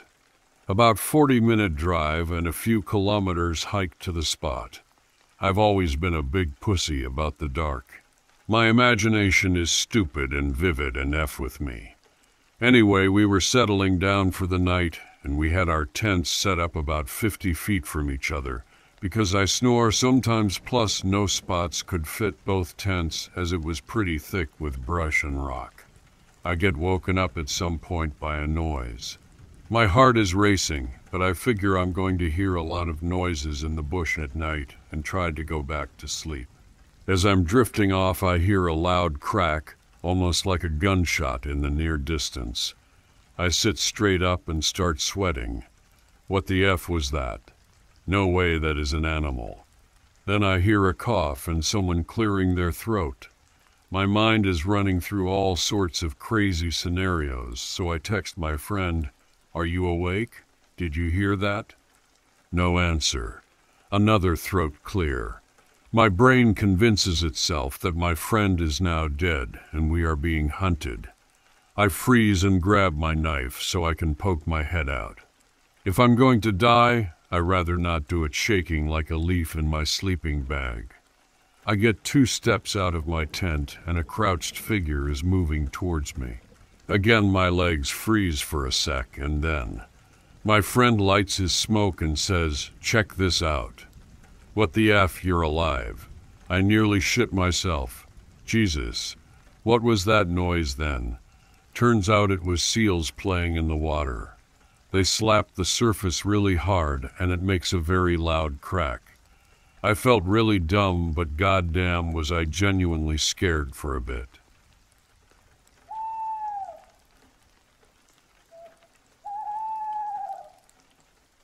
This happened when I was about 14, 15 and often stayed over at my cousin and her husband's house. We'll call them Skylar and Josh. I think F24 and 26 at the time. I'd been staying at their house for a week straight prior to the incident with no issues. It was the summertime in a neighborhood that was pretty rapidly expanding. You know those monochrome suburban nightmare cul-de-sacs. There were tons of half finished houses lining the far end of the neighborhood. I feel this info is pretty important. Anyways, Josh and I are avid movie watchers and stayed up late most nights watching whatever looked good. That night, Skylar went to bed early and we stayed up to watch Would You Rather. Then ridiculous six movie sucks, by the way. Semi important context Josh is a smoker and goes out to the back patio for a cigarette every so often, especially at night when he takes their beagle, Banjo, out to pee. I end up sleeping through the movie on one of their two couches. This couch is backed against a wall, and to the left of it is a window into the backyard. It's the only window in the living room. At some point, I keep hearing Banjo whooping and hollering in the playroom, then again in the kitchen, then the playroom, and so on so forth. Dogs going apeshit in literally every room of the first floor. But he's a clingy dog that hated when Skylar and Josh shut him out of their room, so I figured he was just whining. He's also a beagle, so we're used to him being vocal. On hindsight, I probably should have wondered why he was running from room to room, though. Whatever, I tried to sleep through it. After a good while of Banjo flipping his shit in what I think is the kitchen, he kinda goes quiet. But he wakes me up again, growling at the window right next to the couch I'm sleeping on. Bro will not be still. I still don't get up. I fall back asleep for a bit. Then out of nowhere, he jumps on the couch, right on my stomach, and again starts losing his shit, barking and howling. That wasn't what woke me up, though. It was the light shining from outside the window right in my face. I wasn't scared at first, more confused than anything since my eyes haven't adjusted at this point. Then the flashlight shines up right on this man's face, and he looks identical to Josh. Could have been twins. He's crouched down with his face almost right up on the glass, and when I see him, I jump really hard. I don't remember if I screamed, but the man starts laughing at me, and I can hear it from the other side of the window. However, because I'm big stupid, I assume it's Josh on a smoke break, just trying to spook me. I start walking upstairs and I pass by their kitchen clock. Bitch, it was like 4 a.m. I didn't even put two and two together that Josh has no reason to be outside and awake at this hour. I'm so groggy but also unnerved at this point, so I go sleep on the upstairs hallway floor. I didn't go alert Skylar of what just happened, mostly because she's a cranky bitch when you wake her up, and I was still more willing to accept the idea that it was Josh being an idiot on a smoke break rather than some maniac scoping out the house. The next afternoon, I bring it up to them, and they sort of write it off, ask me if I'm sure I wasn't dreaming, etc. But they did say they heard the dog going wild. I check outside where the window is to see if the man dropped any evidence of him being there, and I kinda wanted to vomit. The tall grass along the house was pressed down like someone was on their knees. I don't even want to know how long the man was sitting there for the grass to have been pressed down still, but I have a feeling it was pretty long, because Banjo sat by that window for a hot minute, and the flashlight is the only thing that woke me up. I'm glad I saw the grass, though, because it felt like such a fever dream. Sometimes I still wonder if it happened, but I know it did. My theory is that some squatter in those unfinished houses was either bored or on something and decided to go on an adventure. But yeah, I would have absolutely gotten my shit rocked in a horror movie at that age.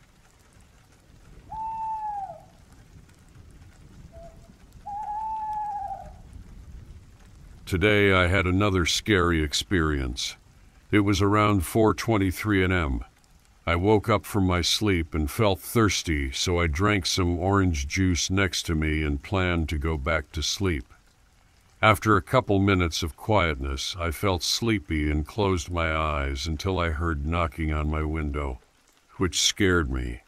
I felt fear when I heard it because my window is next to me.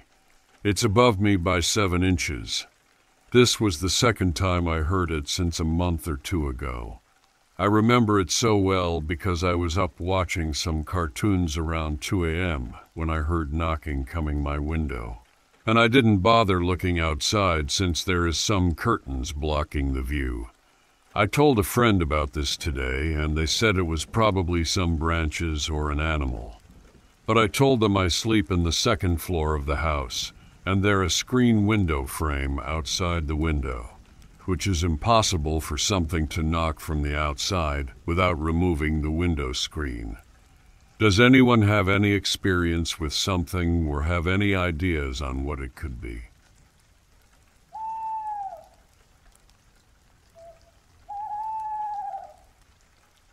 A year ago, the crone like spirit of an old woman haunted me. A medium explained that this spirit was my teacher in a past life, and that she'd returned to guide me in divination and intuition. My attempts to establish a safe relationship with this spirit were not respected, so I asked a shaman friend for help in clearing this entity from my house.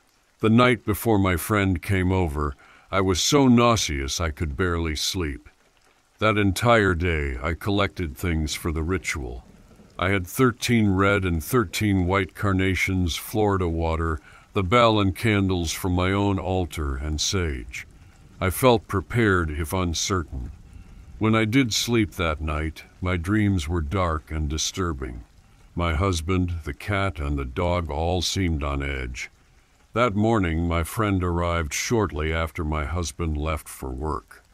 Opening all the window and the doors, we began setting up the space by lighting candles and smudging every corner of the apartment.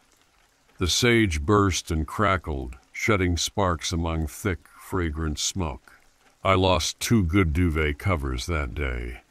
Both pets retreated immediately beneath their respective beds and stayed hidden for the duration.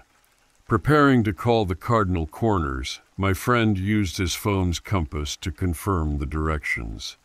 It was way off. I know my house and my corners, and so oriented us correctly. But I felt suspicious, like maybe the entity herself was sabotaging our efforts to remove her. Finally, we began, my friend beating a low, steady rhythm on his animal skin drum invoked the guidance and protection of the spirit animals of the earth and the sky.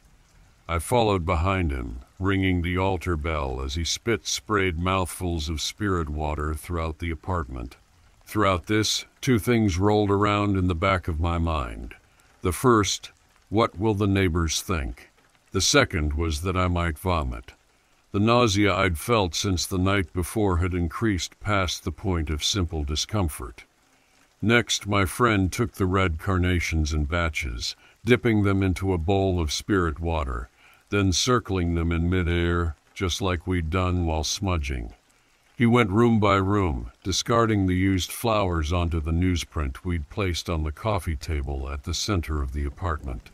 Halfway through his work, he paused and suddenly rushed into the bathroom, becoming violently ill. In that exact moment, I lost the battle with my own nausea. Thank goodness for close friends and multiple bathrooms. Eventually, he'd used all of the carnations throughout the entire space. Perched on our couch, he ended the ceremony with frantic drumming and full voice singing. I could physically feel the energies in my home shifting around us. I gave one last thought to our neighbors and then joined him. My throat raw from the smoke and being sick, I sang out in my loudest voice to move the energies swirling throughout my home. Finally, the ritual was over. We placed the white carnations in a vase on the coffee table. If the ritual had truly exorcised the spirits, he said, the carnations would still be white tomorrow when we woke. I thanked my friend and he left. At his instruction, I then bundled the red carnations in the newsprint and carried them to the seaside, burying them in the sandy soil near a banyan tree. I was too tired when I got home to notice if anything felt different.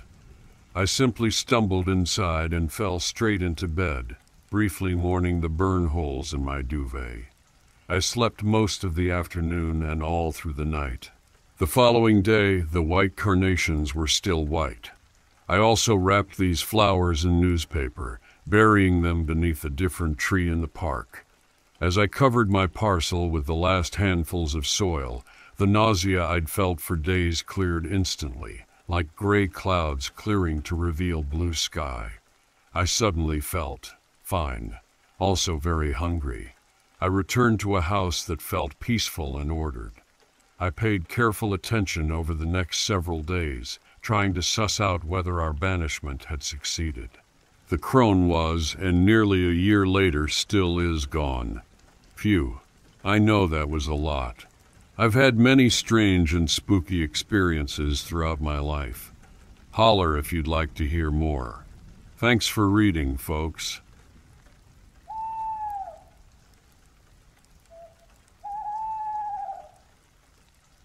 This happened to me and my then roommate a few years ago.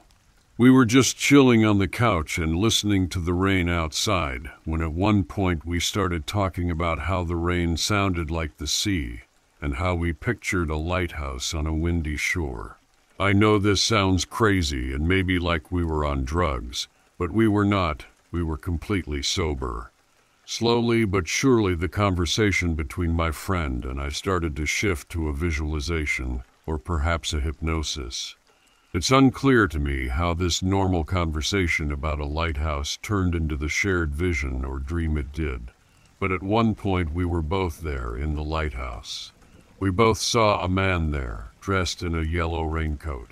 He had a weathered face and a gray beard, but most remarkably, in the place where his eyes were supposed to be, there were two black holes, as if they had been gauged out and only some rotting black skin remained. We both felt this intense urge to get out, so we ran away from the lighthouse to the woods as he followed us. I'm not sure about how we woke up from this hypnosis, dream, vision, or whatever it was, but I remember realizing this was bad and we needed to wake up so I urged my roommate to do so. After I returned to my body, I gently woke them up and we discussed what happened. When we had entered this state, it was around 12 midnight, but when we woke up, it was about 3 a.m. Yet it felt like we had only been doing this for 15 minutes. The next day, we both separately drew the man we saw we were both illustration students without having discussed what he looked like. We drew the exact same man and had given him the exact same name, the Weirman. My question is, what was this? A state of hypnosis we entered through the rain, folie à deux, or something supernatural? If so, does anyone recognize a figure of a lighthouse keeper in a yellow raincoat with no eyes?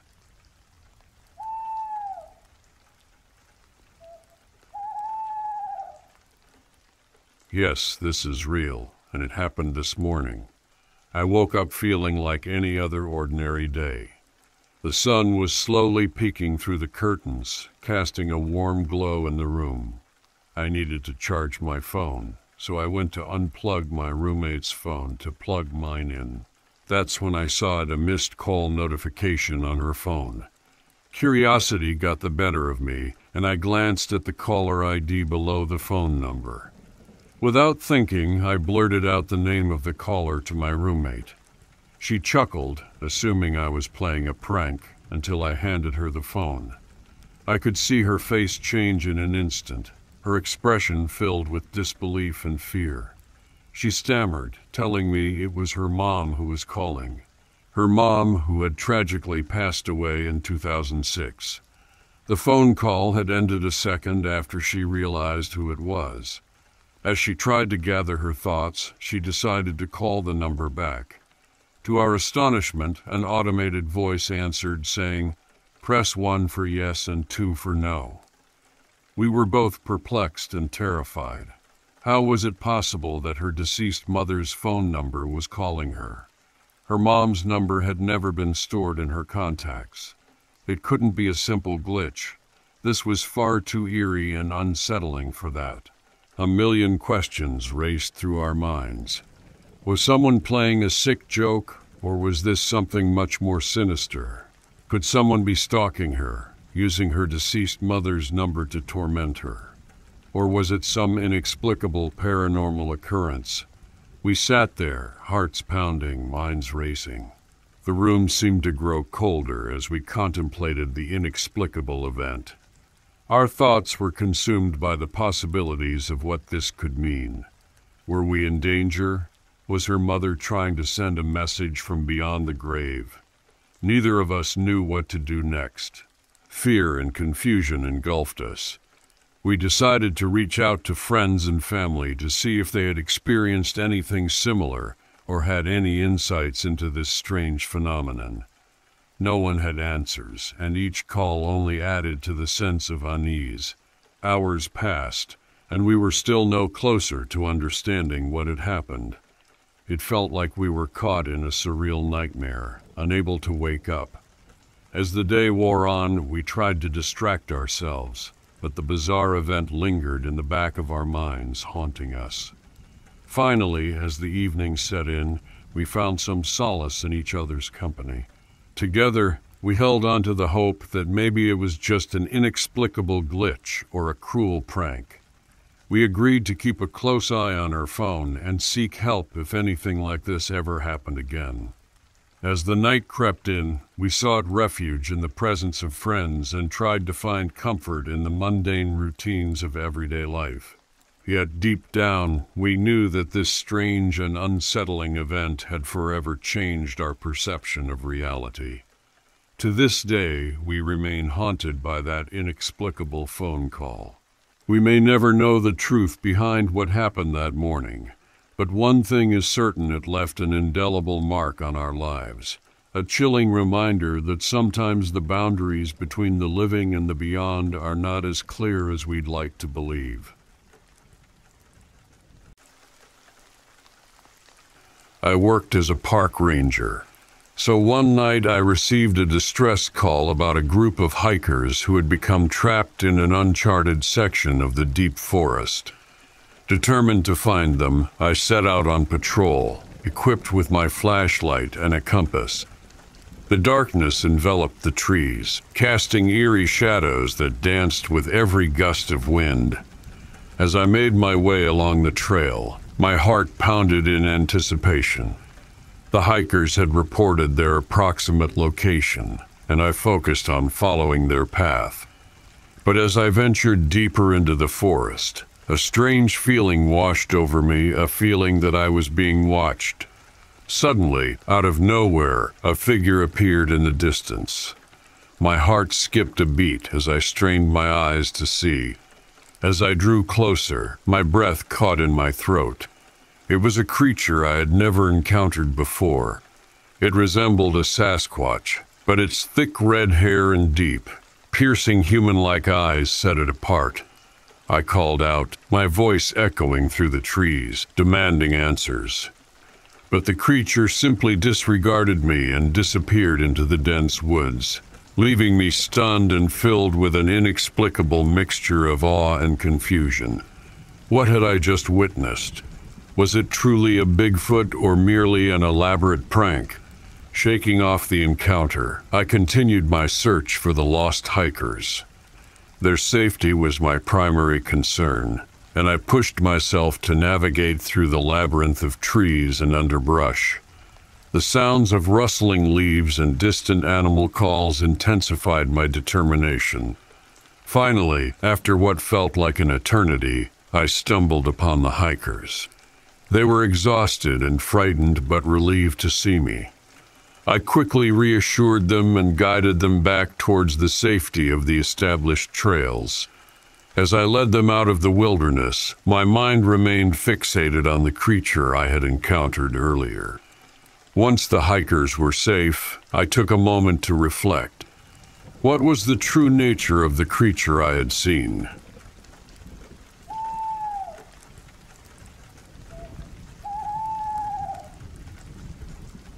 A few years back, I lived in Arizona. I would always travel to Tucson, Mesa, and Flagstaff, but spent most of my time living in good old Phoenix. While down near Tucson, really close to San Xavier Reservation, I was wandering in a small town and stayed near the edge of the town so I can take in the view of the bare desert during the day. I was much younger than I am right now, so this might have been just my imagination, but I don't think so. My imagination wasn't that visual and messed up. While staring into the night of the desert to take a quick leak and get back on the road, I got done draining the lizard and tried to take in the view of pitch black valley illuminated by passing car lights and the starlit sky. I would look into the desert when a car passed by and would gaze into the distance for a split second. Nothing came up, and I didn't think anything would. The Arizona Valley was something I've always been used, that being that the darkness of the desert was nothing to fear for me. After about the 10th or 11th car passed, I spotted something in the distance that caught me off guard, and at first I didn't pay any mind to it. I was curious and waited for a car's light to light up some of the distance. Now, of course, cars didn't illuminate the whole valley, only about 15 20 feet or 20 30 feet. So whatever I saw was pretty damn close, way too close for comfort. I stayed for another car to pass, which felt like five minutes, which was only 10 seconds in reality. After the a couple cars passed to light up my vision, 15th car speeds by. Holy S, I think to myself after realizing what I saw wasn't just my mind messing with me. I saw what seemed to be a person walking alone. It would have thrown me off if it was a regular guy wandering in the dark. But what really messed with me was how it walked and looked. The only way to describe his, or hers, or whatever the F it was, was like a cripple or a mentally handicapped person that has been in a wheelchair all their life trying to walk, stumbling and waddling, dragging their leg ever so often.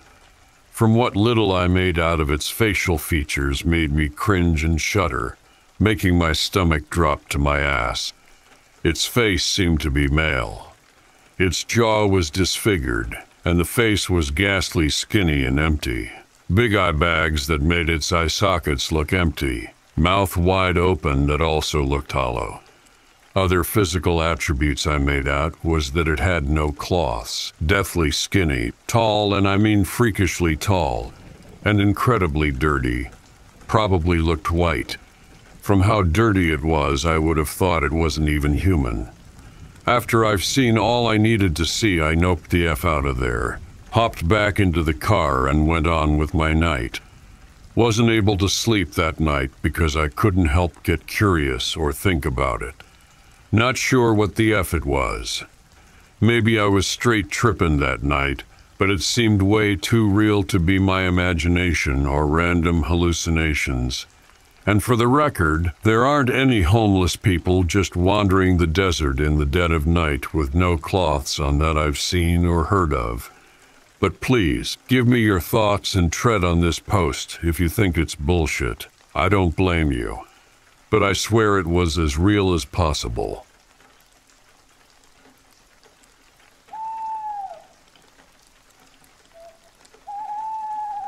I grew up in rural southwestern Ontario, and our property was flanked by trees, and then it was 100 acres of corn. One summer evening, we were playing hide and seek with some friends and family. I was hiding near a pine tree about 50 meters from the road, waiting until I could avoid the person who was it. I was the last person and could see everyone else waiting for me on the porch, yelling to hurry up so we could start the next round. Suddenly, I hear what are clearly footsteps behind me, and I bolt, assuming it's my cousin who is it trying to tag me. I sprint across the yard and make it to the porch only to realize he is on the opposite side of the house. We suddenly hear or see car lights as it starts up and peels down the road. I have no idea why someone would get out of their car, walk 50 meters through the corn, but I was certainly spooked and assumed they had malicious intent. My parents were all into the supernatural and said it was a ghost, which in retrospect seems like a dumb thing to say to a nine year old child. But whoever it was gave me a scare that I still won't forget.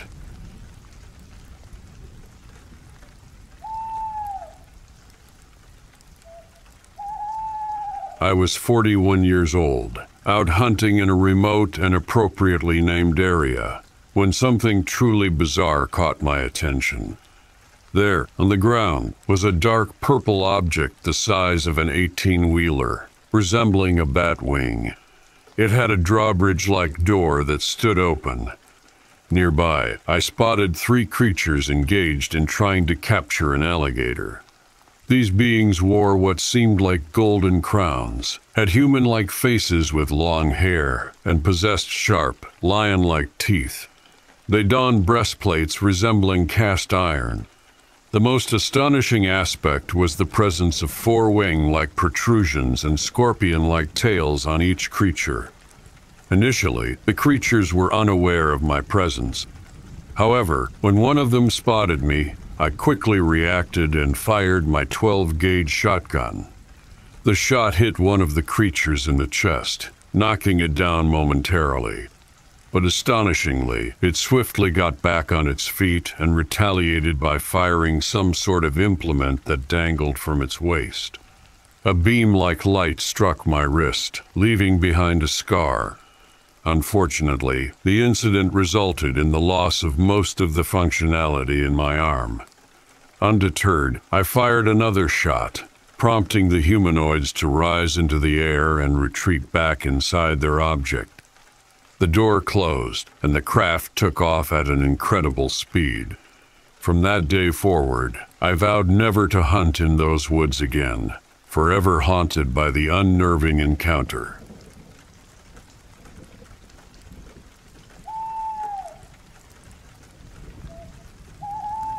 I consider myself a very analytical person, not easily swayed by something I see or feel. This is the reason why it took me so long to write this up, and if you read my earlier post, you would understand. This happened in October of 2017. It was right around 5 p.m. I was just doing my daily patrol through a farming community close to my station that was mostly abandoned after sunset due to trespassing, theft, and mischief. After making rounds checking empty buildings and barns with little to no activity, I headed back towards the main road about 500 meters from where I started off at. As I got closer to the paved asphalt of the highway, there were farm fields on each side of me as far as my eye could see. To my immediate right was a large pumpkin field that had mature pumpkins, and although the ones closer to me were ripe, I noticed some green ones on others further in the distance. I slowed down quite a bit when I saw this, so I could take a better look at them just in case there might be someone trying to steal them. Although it was getting dark, it wasn't quite sunset yet. As I got closer, just within the 30 meters of these pumpkins, something caught my attention. It was similar to when you catch movement out of your peripheral, but when you look over, there's nothing there. So naturally, I've been in countless situations in which I've had to defend myself or apprehend someone. I immediately slowed down, put my cruiser in park, reached for my flashlight, and grabbed the pepper spray on the passenger side. As I was reaching for these items, I noticed something very small crawling across this large rock next to the pumpkins. At first glance, it looked like a little misshapen little man. It didn't seem to have any gender or sex, nor did it appear to be an adolescent child due to its size. Before stopping, shifting into reverse, and backing up, the creature apparently sensed me somehow and quickly scampered off behind the pumpkin towards a thicket of trees. The whole thing happened so fast that all I could do was put the car back in drive and proceed back to the station. When I got home, I decided to try and look online for what this might have been.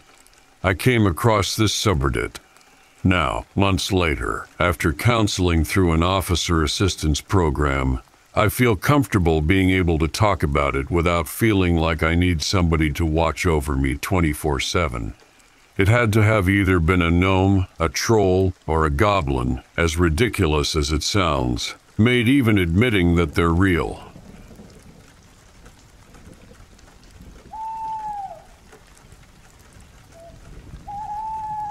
so our boys' ages are three and two. A few days ago, about 30 minutes after we had put the boys to bed, I was in our front living room when all of the sudden I heard our oldest son crying out for me. I peeked my head out into the hallway and looked into our other living room real quick to see if my husband was already on it. He wasn't, so I walked down the hallway and went into the boys' bedroom, and both of the boys were sound asleep. Weird. I shut the door and walk into the main living room where my husband was and told him what just happened. He just shrugged his shoulders and said he didn't hear anything. The room I was in is closer to their bedroom, so I could see how he didn't hear him. Then last night, just after midnight, I laid down to go to bed. I was almost asleep until I heard my youngest son start to cry over the monitor. I waited a few seconds to see if he was just moving around and would fall back asleep, or if it was the real deal. He starts hysterically crying, so I jump up and run down the hallway to their bedroom. The boys are sound asleep. I'm very confused. I go back to bed and fall asleep. Now, a little backstory I am a very heavy sleeper. My husband always had to wake me up when the boys were babies, when they would wake up in the middle of the night because I didn't hear them. He always says I could sleep through the world ending, and I would never know. So after I fell back asleep, I get woken up at 5 a.m. to my youngest son, hysterically crying again over the monitor. A little side note both times I look at the monitor, I don't see either of the boys moving. I see them peacefully sleeping, but I hear the saying. I get my sleepy self up, look over at my sleeping husband, Thought it strange that he was asleep and didn't wake me up, and sleeplessly walked down to the boys' bedroom. They are both sound asleep. Now I feel like I'm losing it. I know what I heard. No TVS were on when any of these occurrences happened. We don't own a radio, and our monitor is one of those dinosaur ones, so it doesn't hook up to Wi Fi or anything. And the first occurrence with my oldest son I heard with my own ears when my son was crying mommy. I didn't even have the monitor on. I feel like I'm going crazy. Nothing like this has ever happened before. One time I got woken up to something whistling outside our bedroom windows at 3 a.m. a few months ago. It kept moving from one window to the other in a matter of seconds. Very earring whistling. We have a fenced-in backyard and the one window is in the fenced-in area. Our fence is six feet high, so that scared me even more thinking something was on our roof. I was absolutely terrified and frozen in bed. It finally stopped and I went back to bed. I talked to our next door neighbor about it that's lived out here his whole life, and he said he's seen and heard things out here that people would think he's insane. We live on a quiet dead end road with a swamp or heavy woods in our backyard.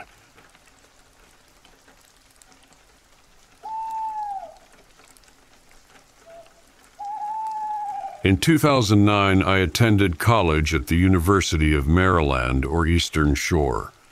I always felt overwhelmed with studying and assignments and spent most of my time inside. My roommate and I decided to abandon our schoolwork one weekend and have an adventure. We agreed to go to Assateague Island. It's a barrier island and a refuge for wildlife. I was most excited to check out the feral ponies I had heard about. There do not seem to be many places where you can see wild horses anymore. So we decided to camp even though it was the off season and chilly. At least there were no crowds. We borrowed a bunch of gear from our hardcore camping friend and headed out. We stopped at the visitor center, and the rangers told us where we would be likely to see the horses. They told us to make sure we put away all of our food items whenever we were away from the campsite. We showed them the bear-proof cooler we had borrowed, and they said that was fine. We set up our camping spot and went to the recommended trail, and when we were out there, we caught sight of horses off in the distance. They told us to stay at least 40 feet away. We were happy to get a distant view of horses across an inlet. However, we were really excited when the herd stormed through the water and toured the area where we were standing. There must have been three different herds while we hiked that morning. We had binoculars to spot them in the distance and were satisfied with our sightings by noon. We had a cookout and relaxed on the beach. I was ready for bed early and got into my sleeping bag after sunset with my book. I must have fallen asleep immediately. The next thing I knew, I was woken up by something howling. Now I'm familiar with coyotes and wolves, but this did not sound like that. It was higher and more shrill. It gave me goosebumps all over, and I could feel it getting closer. I convinced myself it must be one of the island foxes, so I just fell asleep again. But then this horrible growl woke me up again. It was a low growl, guttural and rumbling. I could hear something rustling outside the tent. It was probably half an hour before the noises stopped and I could sleep again. The next day, we decided to take the Wildlife Loop Trail. It was maybe three miles long and gave good views of marsh and forest. We spent a long time exploring. By the time we decided to head back to camp, we were both pretty tired, and it was almost sunset. We came over the crest of a dunes and could see our tent a ways away. It looked like it was fluttering in the wind more than it should be. I could tell there was some stuff on the ground by the tent, and I remember saying how weird that was. As we got closer, we could see that the tent door was hanging unzipped and flapping around. The stuff on the ground was our gear, sleeping bags, and clothes. We thought someone robbed us, we knew we hadn't left any food unsecured, and it didn't seem like an animal's work because the zippers were just pulled down like a person would do. Inside the tent, there were muddy prints all over the ground cover and tarp. If I didn't know better, I would have thought they were from a giant dog. Our bags had been opened and all contents had been removed and thrown around.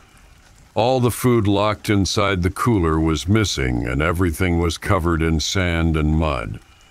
We were totally astonished, and then I noticed that growl I heard the night before. I was instantly terrified. I can't tell you how primal it sounds. My roommate and I rushed out and heard it coming towards us as it came from behind the trees. We both screamed when we saw this huge werewolf like creature. It was obviously eating something and looked like a six or seven foot tall wolf, but had a man's torso. It had a long snout and sharp fangs, and when it howled, it sounded like a human scream. It was facing sideways from us, so I couldn't really see its eyes. However, its back was kind of hunched over, and it had massive shoulders. It never looked at us, it finished what it ate and then turned away and disappeared into the trees. We were literally shaken from seeing that thing. We knew we had to live. Ave. We pulled everything out of the tent and shook it off as best we could. We threw everything in the trunk and raced out of there. We stopped at the ranger station, but it was after hours and nobody was around. We didn't know what to do and went home. I called them the next day to describe what we had seen. I have no idea if they took me seriously or if they thought we were just seeing things.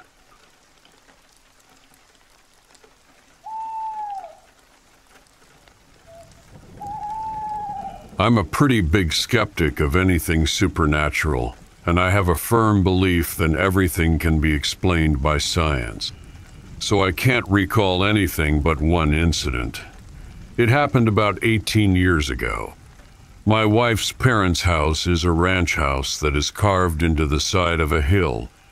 In their basement, they have a nice wood burning stove and a big old comfy couch and some crocheted comforters that are amazing. It was Thanksgiving and we had just eaten. I didn't drink back then either. No meds to speak of, perfectly healthy. It was my wife, her parents, and her two sisters. In classic form, I go downstairs after turkey, dressing, and all matters of food. I curl up on the couch and take a nap. The wood burner was on, but closed so no noise the curtains down. There were the light blocking kind, so it was pitch black. Awesome, right? I am snuggled up in this blanket, and I slept for an hour and a half. Toasty. Just fantastic. I wake up. It, of course, is still pitch black. I stand up and make my move to the light switch. As I start walking there, I hear something. When I say hear something that isn't really a good description, it wasn't like in my ears with a direction.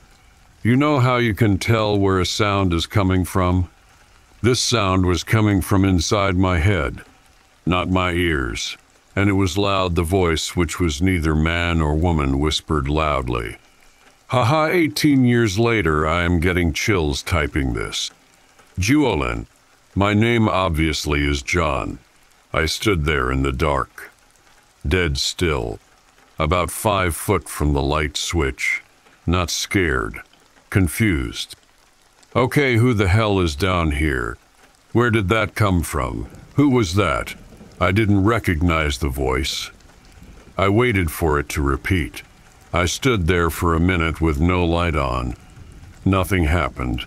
So I walked the five foot to the light switch and flipped it on. Click. Looked around the basement. Nothing abnormal. I heard the rumbling of people walking around upstairs and talking lightly through the floor. So I put my pants back on and walked up the stairs.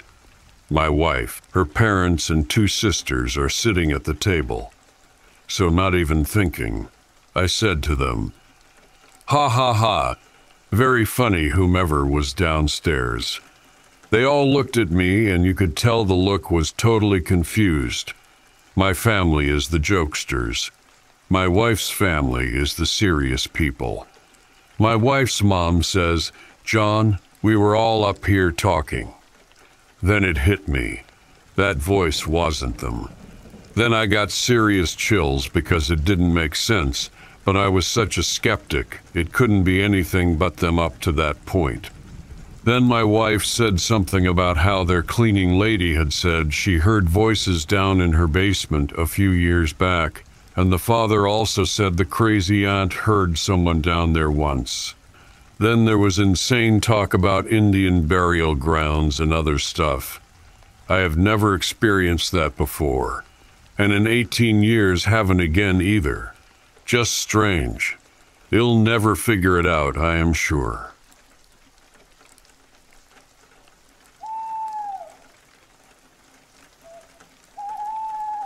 So, two stories, both from my dad, who is an avid outdoors man, hunter and fisherman. Early bow season, he went out scouting for whitetail. He walked around from dawn till about midday until he came to a large clearing. Inside of this clearing, he noticed what he claims to be hundreds of 55 gallon steel drums cut in half. So, being a curious person, he decided to go look, unknowingly stumbling into a large marijuana grow operation. According to him, he was like F this and just left. Second story is in rural Alabama, once again hunting in a new area. Came to what looked like meadow with tall grass. Apparently, he stumbled over what looked to be a cross. When we returned to camp, an inquiry was made about this and apparently it was an old slave graveyard. It's just weird how the ghosts of history can sneak up on us in weird ways.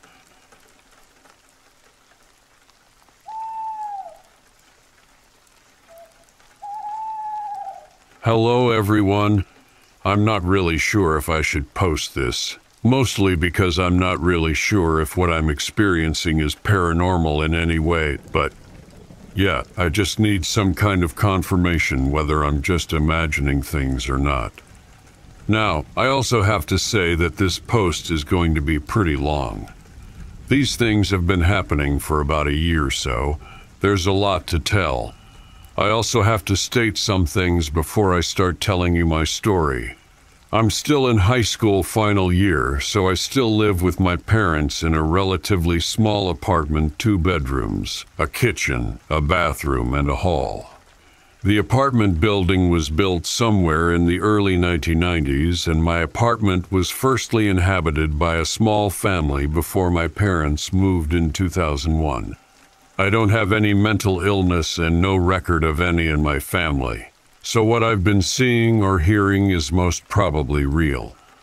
Now, let's go through my story. When I was young, I was extremely afraid of sleeping alone.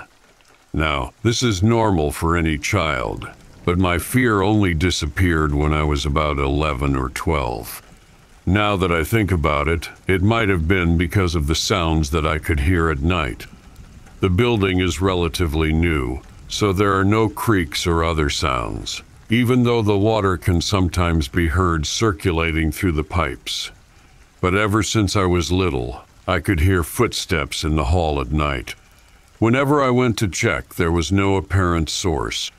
This startled me a bit in my early years, but as I grew older, I assumed they were from the neighbors above and kinda shook it off whenever I heard them.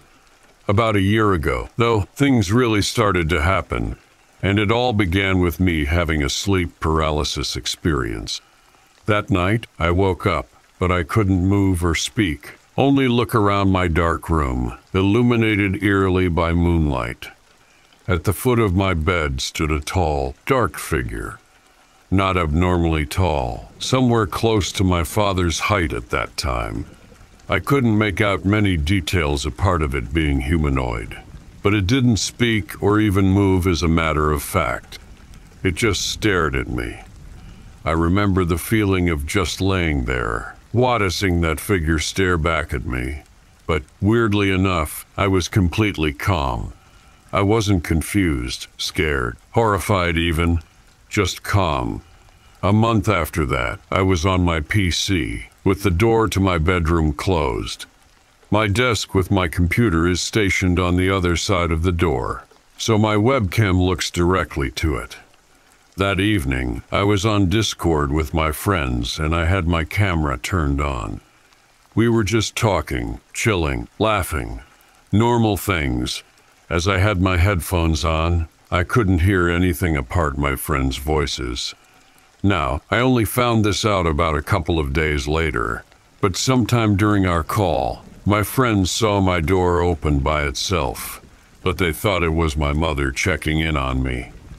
I didn't tell them that, but I knew for a fact that I was home alone at the moment. This really freaked me out, and for a few days I was terrified of being alone in the house. I thought someone broke in during that time, but there was nothing missing and the front door remained locked from the inside. The next few months were quiet, very quiet. Nothing happened and the footsteps in the hall were gone. My theory about them was enhanced by the fact that the neighbors upstairs moved out, and to this day, no one lives in the apartment above. But then things started going down. I started finding some of my things slightly moved. A pen from my desk was on the floor, a book in my bookshelf was now on my bed, and things like that. I talked to my parents about those, but they said they didn't move anything. Then I would find a door to a cabinet or wardrobe randomly opened and left that way. Most of them also had nothing to do with my parents. This is when we started to jokingly say there was a ghost in the apartment, and we named it Mark. I know, it sounds stupid, but we chose to amuse ourselves instead of worrying. Something any person would find much more comforting, I believe. Then we installed the light. As we sleep with the doors to our bedrooms open, it is inconvenient when someone turns on the hall light at night, when they go to the bathroom, mostly because the other are them woken up by it. So, to avoid stumbling into things while navigating through darkness, we installed a motion detecting hall light. Simple, right? Kinda, except of the fact that ever since we installed it, I barely sleep at night. The footsteps now returned, even though there is absolutely no one above us and we live at the ground floor. But now, whenever I could hear footsteps, the light in the hall would turn on, as like detecting movement. But no one is there. I never managed to record it. So when I told my friends about it, they laughed at me. But when I had one of them stay overnight, their opinion changed within minutes. A week ago, I took a shower at about 2 3 a.m. Now, I might just be paranoid, but I can bet there's something there with me whenever I enter the bathroom. Watching. When I got out of the shower, I noticed scratch marks on my left arm. Two parallel lines and a perfect M or W. Now, as I said, most of this could be explained, like sleep paralysis hallucinations, footsteps creaks of the building, light faulty wiring, but for the sake of me, I can't explain the scratches. The moved items, the open doors, or even the presence I sometimes feel watches over me. me. My friend suggested I contact the spirit, but this is where I stop.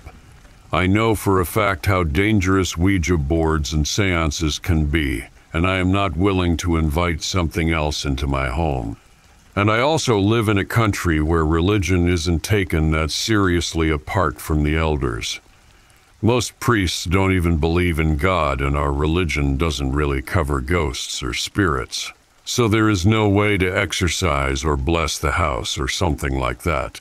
So I ask you, a gathering of the most enthusiastic paranormal enjoyers and investigators, is this paranormal, and what should I do about it?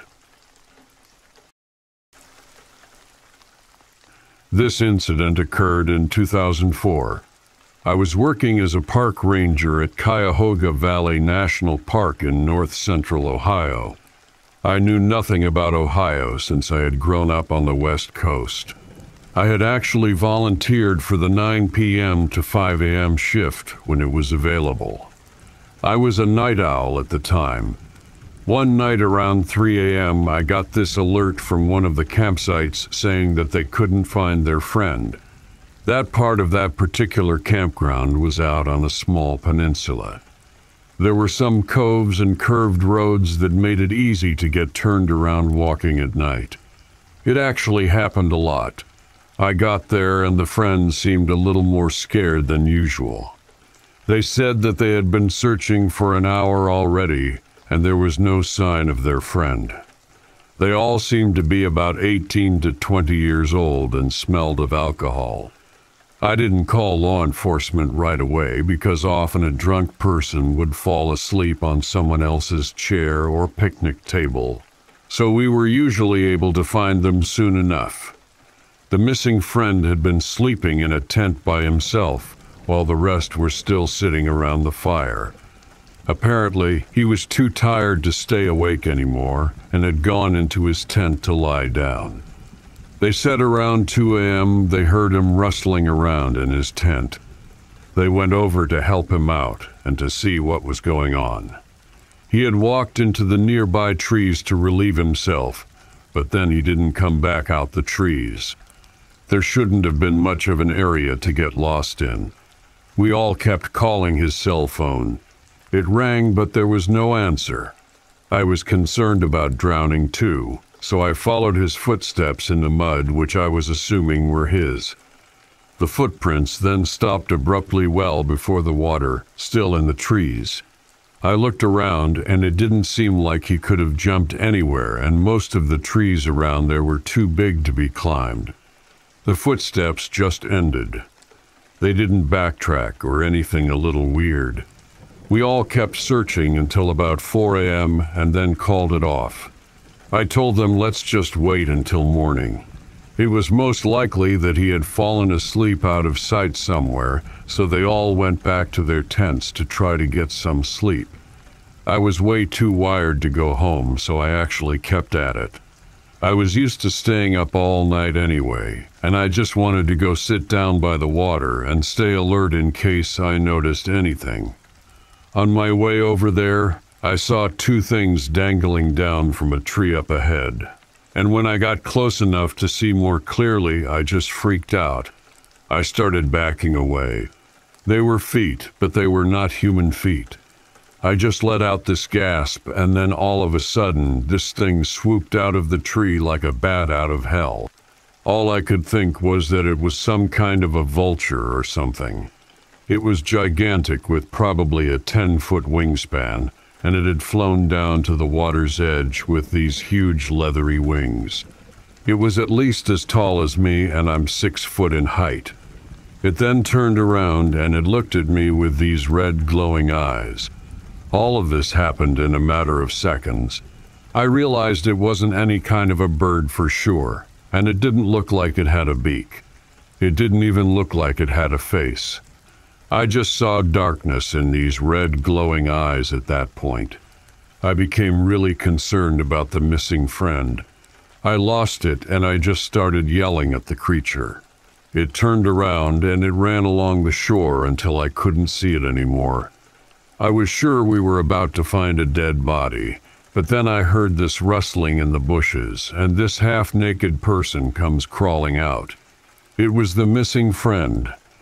When he was able to make sense, he said that he had gone to the lake to wash himself, and the freaky winged thing had scared him half to death. He'd been under the bushes hiding and had passed out by then. I felt like I wasn't even in my right mind anymore. I took the guy back to the campsite, and I eventually got back to my office and checked out. I couldn't take it anymore. I had no clue how to even begin making sense of it all after that. I decided to switch to the day shift, and it ended up being a lot better for me. I eventually left the job at the park in 2008, moved back west, and now work for the state of California.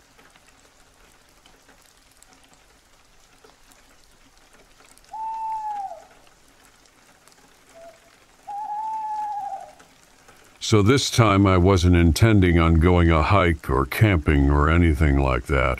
I had gone to a state park near my home to just walk on one of the trails they had. So I'm walking along its broad daylight out, maybe one in the afternoon, when I noticed a side path going off the trail. Now, if you have some experience hiking, you will know about so called social trails, which are paths made by people to get to interesting sites and such. Well, I figured this was just a forming social trail and go off on it to check out what people are going to see. I don't walk that long or far. Far enough that I can't see the established trail anymore, but not so far I can't tell where I am in comparison to the trail, if that makes sense. Well, I come this clearing, and in the middle of it is a tiny graveyard, maybe ten headstones in all. It was surrounded by a simple wooden fence and had an old rotted wood bench in the front of it. First off all, let me tell you about the feeling I got from this place. It was sad. Just so very, very sad. Like you know how in Harry Potter they describe the presence of a Dementor being like all the happiness in the world was gone, and you could never feel happiness again. Well, that's what it felt like. I went from being in a fairly good mood to. Well, anyways, it was weird. Secondly, the gravestones were old. Some were crumbled and fallen, while others were worn and had plant life grown over them. Naturally, I went over and tried to find dates on the stones. Nine out of ten of the stone's words were worn away, but as luck would have it, the last stone wasn't completely worn. I couldn't read it, but as I felt it, I got the person's death date was July 13th, 1817. This graveyard was at least almost 200 years old, probably older due to the state of the other markers. After all of these observations, I decided to pay my respects and be on my way. I stayed a little longer, seeing I figured these people hadn't had visitors in a while.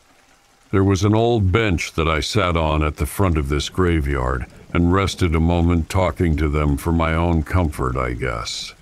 Some time passes and I figure I've bothered the dead's rest long enough, so I leave. Find my way back to my trail and continue my walk. Suddenly, my phone goes off six, seven times in a row, and I check. I have seven new messages. My phone was acting like it had been off for the past 10 minutes, and suddenly I had reconnected to it again. Weird, but whatever, probably a weird glitch or something. I finish my walk and stop by the visitors center to buy something from the vending machine and talk to the park rangers there. I have become friends with one of them up there and asked him about the graveyard. He gave me this really confused look and said there isn't any graveyards within the park. I get a serious look and tell him to stop joking, and he just shrugs repeat there were no graveyards within the park. I then explained to him how I had spent a whole 10 minutes sitting at this graveyard. He gets this really confused look this time and said I had been up at the trails for three hours and he thought I had gone on the 10 mile trail he saw my car driving past earlier. Checking my phone, I was shocked to see it was 4 p.m. I had been at that graveyard for three hours and it only felt like it was 10 minutes. So it turns out my ranger friend has been keeping a logbook of weird experiences and happenings within the park and asked me to write mine. I did and went home. I don't know what happened, guys. Where was I?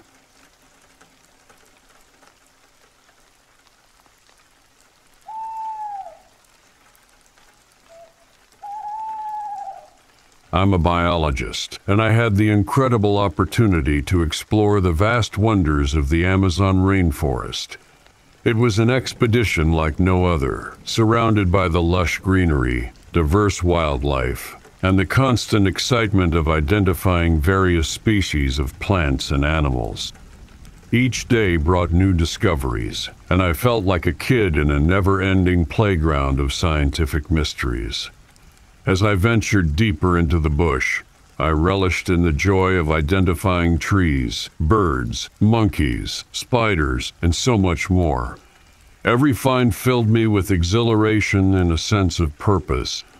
But then, one fateful day, everything changed.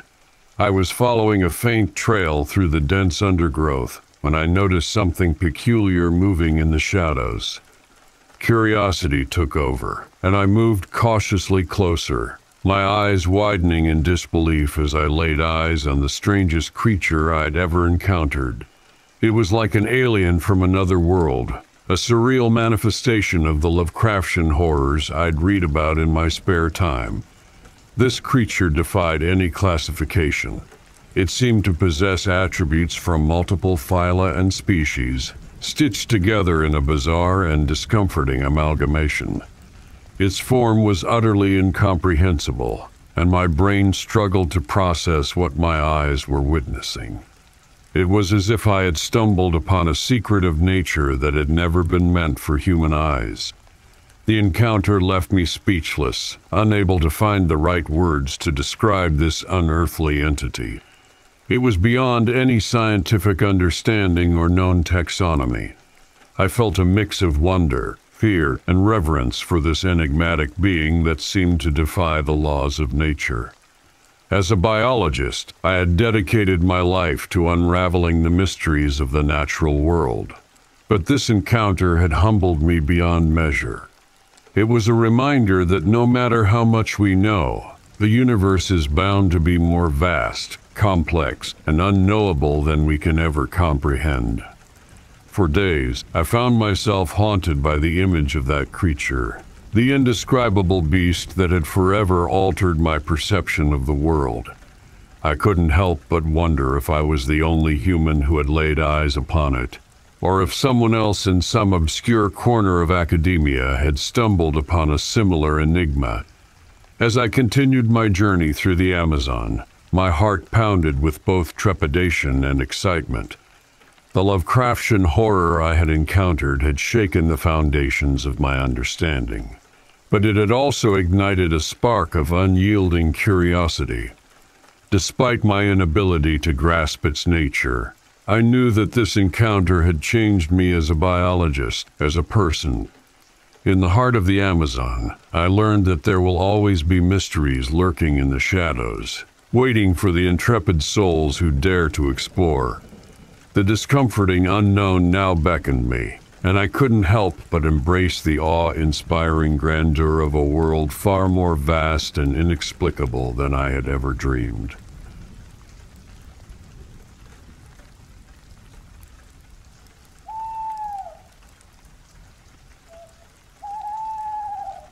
My time slip story happened in the summer of 1987. One night, I experienced something that enabled me to see the world through someone else's eyes for no longer than a minute. It scared me senseless at the time, and I have no explanation for the events all those years ago. The backstory is this my then girlfriend, we'll call her Helen, lived in a big, former vicarage built around the 1 in 800s in a small village in Yorkshire, UK, some miles from my hometown. Her father was a wealthy guy who worked for the government. He bought the house for the family to live in a couple of years earlier and renovated it to bring it back to its former glory. One August weekend, Helen had the house to herself. Her brother and parents were somewhere else. She decided to have a small party. I was instructed to bring my buddy Tim along. It seemed that one of her friends had a thing for him and really wanted to meet him. So the party was me and Tim, my girlfriend, and three of her mates from university, one of whom was the reason my friend was reluctantly set up to meet. Okay, so the scene has been set. We turn up with a large quantity of beer and an attitude. I did my part by bringing Tim along to meet the girl. However, he then got drunk and embarrassed and failed to fulfill his expected role of sweeping this very pretty, but rather dull young woman off her feet. He wasn't concerned about romance and enjoyed himself in his own way. We were 20, and that night beer and silliness took over. It was a night I will never forget. By midnight, the girls were all in Helen's bedroom doing what girls do when things happen. They were ganging up together and probably having a group anti men therapy session. At this point, Tim and I were ready to find somewhere to fall into deep sleep. We decided to worry about facing these disappointed women in the morning. I wasn't drunk, but I drunk enough beer and didn't want to drive us home. I suggested we find a bed somewhere in this sprawling, rambling old house. Now imagine a house with maybe 12 rooms upstairs. I knew the door to the bathroom and to Helen's room, but every other door was a mystery. Tim and I walked to the end of a passage and pushed open a door. The room was empty except for two small ancient iron beds squeezed against the wall and a few packing crates. There was no carpet on the floor and no other furniture. It was like a small storeroom, but there were beds and we weren't too fussy. In our sleepy state, we just fell asleep. The next thing I knew, I was sitting up in bed, looking out of the window opposite. The window had five bars, upright bars like an old jail. The sun was streaming into the room and it was blinding me.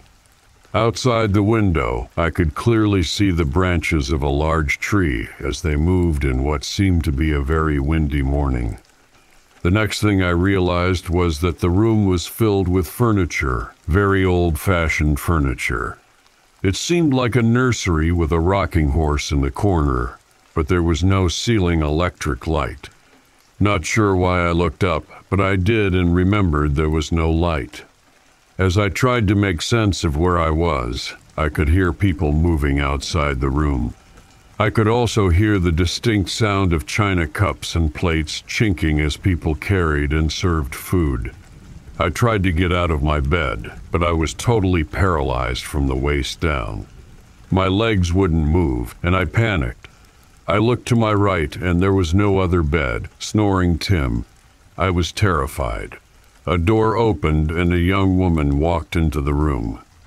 She started speaking to me, but no sound came out of her mouth. She was dressed like a servant from a period movie. There was no kindness or smiles. She came in and spoke to me, no idea what she said, and then left. At this point, I was shaking like a leaf and trying to figure out what to do next. I remember thinking I should check the time. I looked down at my watch and everything went dark. I could hear snoring and my digital watch showed it was 3:10 a.m. Wherever I had been, I was back where I needed to be. I leapt out of bed, felt for the light switch and turned it on. Everything was 1987 again, confirmed by the language from Tim, who was woken up by the light. The rest of the night passed without incident. First thing in the morning, I was awoken again by the sunlight streaming through the window. This time, there were no bars on the window, no tree limbs bending the shafts of light that streamed into the room. It was just an ordinary window. I went downstairs, leaving Tim to sleep. Once the girls had poured me a coffee, I took it outside into the large garden.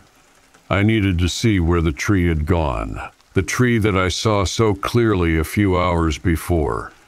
Helen and her friends followed me outside, and I explained what had happened that I had seen a huge old tree and bars on the window. The tree was gone. No tree stump anywhere near the building. I saw the small window of our room, and then we saw a rather hungover Tim smiling weakly, waving from the same window, who had heard us talking outside in the garden. The story might have ended there. I believe that for a short period of maybe 30 45 seconds, I swapped places with a former occupant of that room. At a time when there was no electric light, bars on the window, an old tree beyond the window, and a rather unhappy servant whose voice was on mute. After I told Helen everything, she went quiet and said nothing. Have you ever been to my dad's study? I answered that I had not. She said, Follow me, and we walked into a downstairs room where her dad worked and had his den. He collected documents and photographs from the house's history to help him and the architect renovate it to its former glory. She pointed out a set of five old sepia photographs, which were framed on the wall. The earliest dated from about 1880 through maybe 10 years, judging by the ages of the children of presumably the same family. It shows the resident, the local vicar, sitting in the garden with his wife and family. He was dressed in Victorian dresses, sailor suits, and starched collars. There were, I think, eight children, and one was in an ancient wheelchair. They were all arranged in front of a huge oak tree, behind which the window of our time slip room clearly had bars. The boy in the wheelchair looked about 12 and was clearly very disabled. He didn't appear in any of the later photos on the wall. So that's my story. People will say, yeah, the guy had been drinking, I had but no amount of German beer and Marlboros. There were no drugs involved would cause me to experience what I did. The weirdest thing about the whole event was that it felt hyper real, like everything was turned up on a TV contrast, brightness, color, everything except the volume on the grumpy servant. I will never forget how terrifying the whole thing was to me. I haven't had anything like that happen to me again, nor do I want to repeat it. My experience left me fascinated by the time slip stories that I know you enjoy.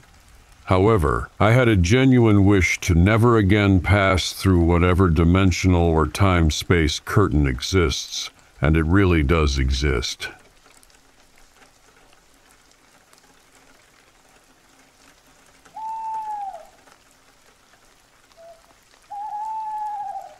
I hope that by posting this, maybe another fellow officer will read this and open up about some of the more sensitive things in their own life. I was partnered with a fellow officer who would always tell me these stories about how he was seeing this thing all over the place. He said he saw it by the 7 Eleven and then again by an abandoned house that used to be a meth house. Finally, this thing had apparently followed him outside of town into the swamps and forest. I never once thought he was making any of it up because you know he's my partner. That's not his style. He's very serious. But I begin to notice things along with him as well. At first, it wasn't anything major, but just odd little things that you'd see for a split second usually when you're driving through unpopulated rural areas at nighttime. Other officers had told me that they too had been seeing something strange around their patrol zones, but were hesitant on speaking up. One night, my partner said that he was going to follow whatever it was into the forest. I was already nervous about the area of Florida because people have talked about seeing some really weird things there in the years. I tried talking him out of it, but he insisted on going anyway, so I went with him. A few blocks away from the edge of the forest, I told him to stop and park by a remote two story house on a street corner. He parked right next to it, cut his engine off, and we sat there in silence for roughly three to five minutes. Then we heard this blood curdling roar coming from nearby in the marshes, and my partner looks behind us and screams, Oh no! Then he turns the engine back on and peels out of there like a bat out of hell. I never did find out what he saw behind us. I didn't find out until after he'd retired that he'd seen what was making those roars and he claims it wasn't human. I hope the department never puts him in a position to have to shoot one. I can only assume they're big, tough, and mean, but again, if there were anything like this when he saw it, who knows how much good a gun would do. If this is maybe something like a skunk ape, I'm also willing to bet that all the strange creatures out there are smart enough to not attack him after what he must have done. That's all for now, folks. But if you want to discuss this in private, go ahead and send me a PM. I'd be more than happy and willing to discuss this.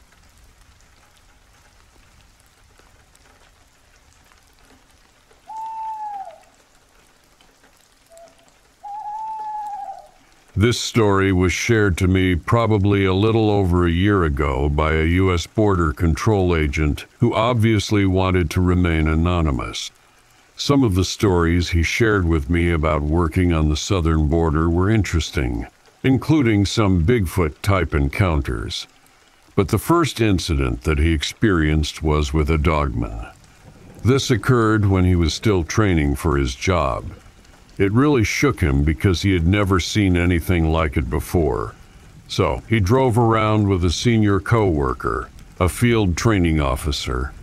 They were in their Ford truck driving around, showing him the checkpoints and hotspots where they usually find people illegally crossing the border. I believe he said he was working 10 or 12 hour shifts this was at the Arizona California border where it intersects with the Mexico border.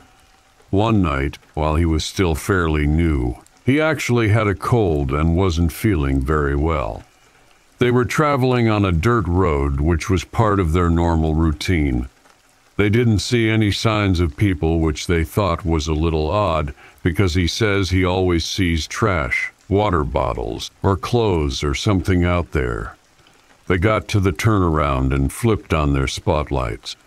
They didn't really see anything, and as they're turning around the headlights and the spotlights illuminated something in the distance, his training officer looked over and said, Oh, that's probably just a wild animal. We should we go take a look?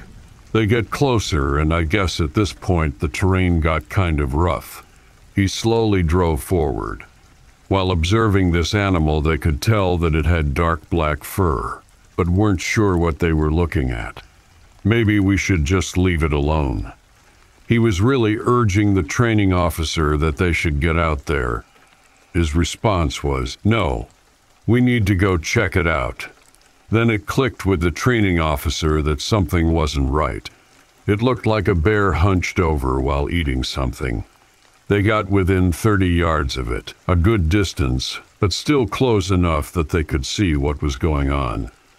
At this point, they flipped on another set of bright lights from the light bar on the cab roof. This creature lit up, then it stood up. He thought it was a giant man with a fur coat. But as it turned around, he noticed that it had this dog's head, like a wolf's head. It was all black, and you could see the eyes. The eye shine was reflecting an amber tint. It was very muscular and had broad shoulders. It was way too huge to be a dog or wolf. Then it stood up on its back legs. He immediately stopped the truck as they watched this upright canine looking at them. After several seconds, This dogman eventually took a step towards them. Then it took another step, and it was closing distance. It wasn't walking fast, but its strides were so huge, and it was getting closer and closer. He threw the truck into reverse. The dogman opened its mouth a little bit and hunched over, like it was sizing up prey. He quickly turned the truck around and drove away from the creature. He looks in the rearview mirror. He could still see the dogman illuminated by the red rear lights. He said he had never seen anything like that. It scared the crap out of him. They directly drove back to the station. His training officer said that it was just Big Dog, but don't talk about it with anyone. They didn't mention it in their nightly report. Occasionally, you'll pick up migrants that will talk about the Lobos or the big hairy man and other strange stuff in the desert.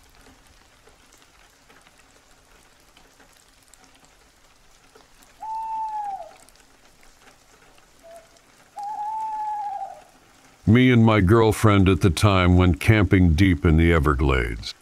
We took a dirt road off the Tamiami Trail at the 40 mile bend and headed straight south into Big Cypress Preserve.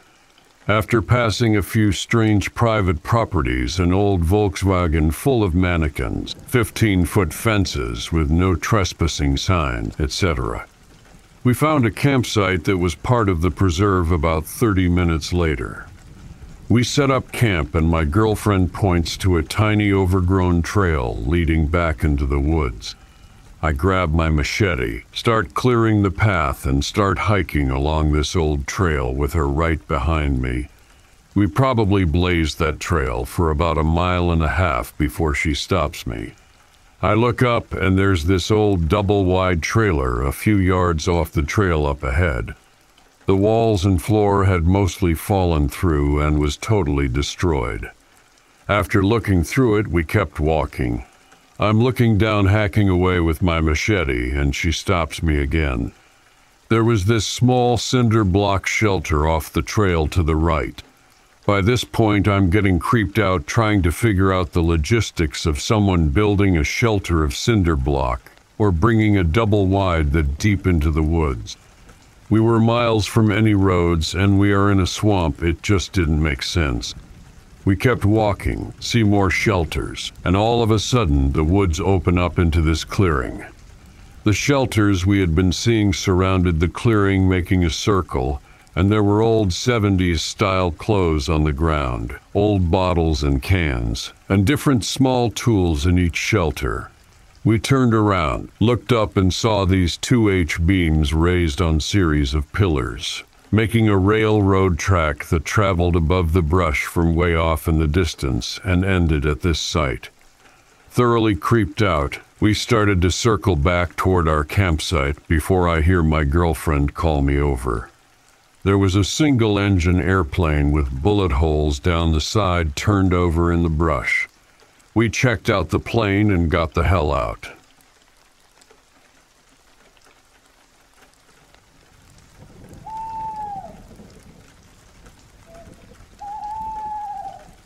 About two years ago now, a friend and I were driving around some dirt roads in rural Georgia.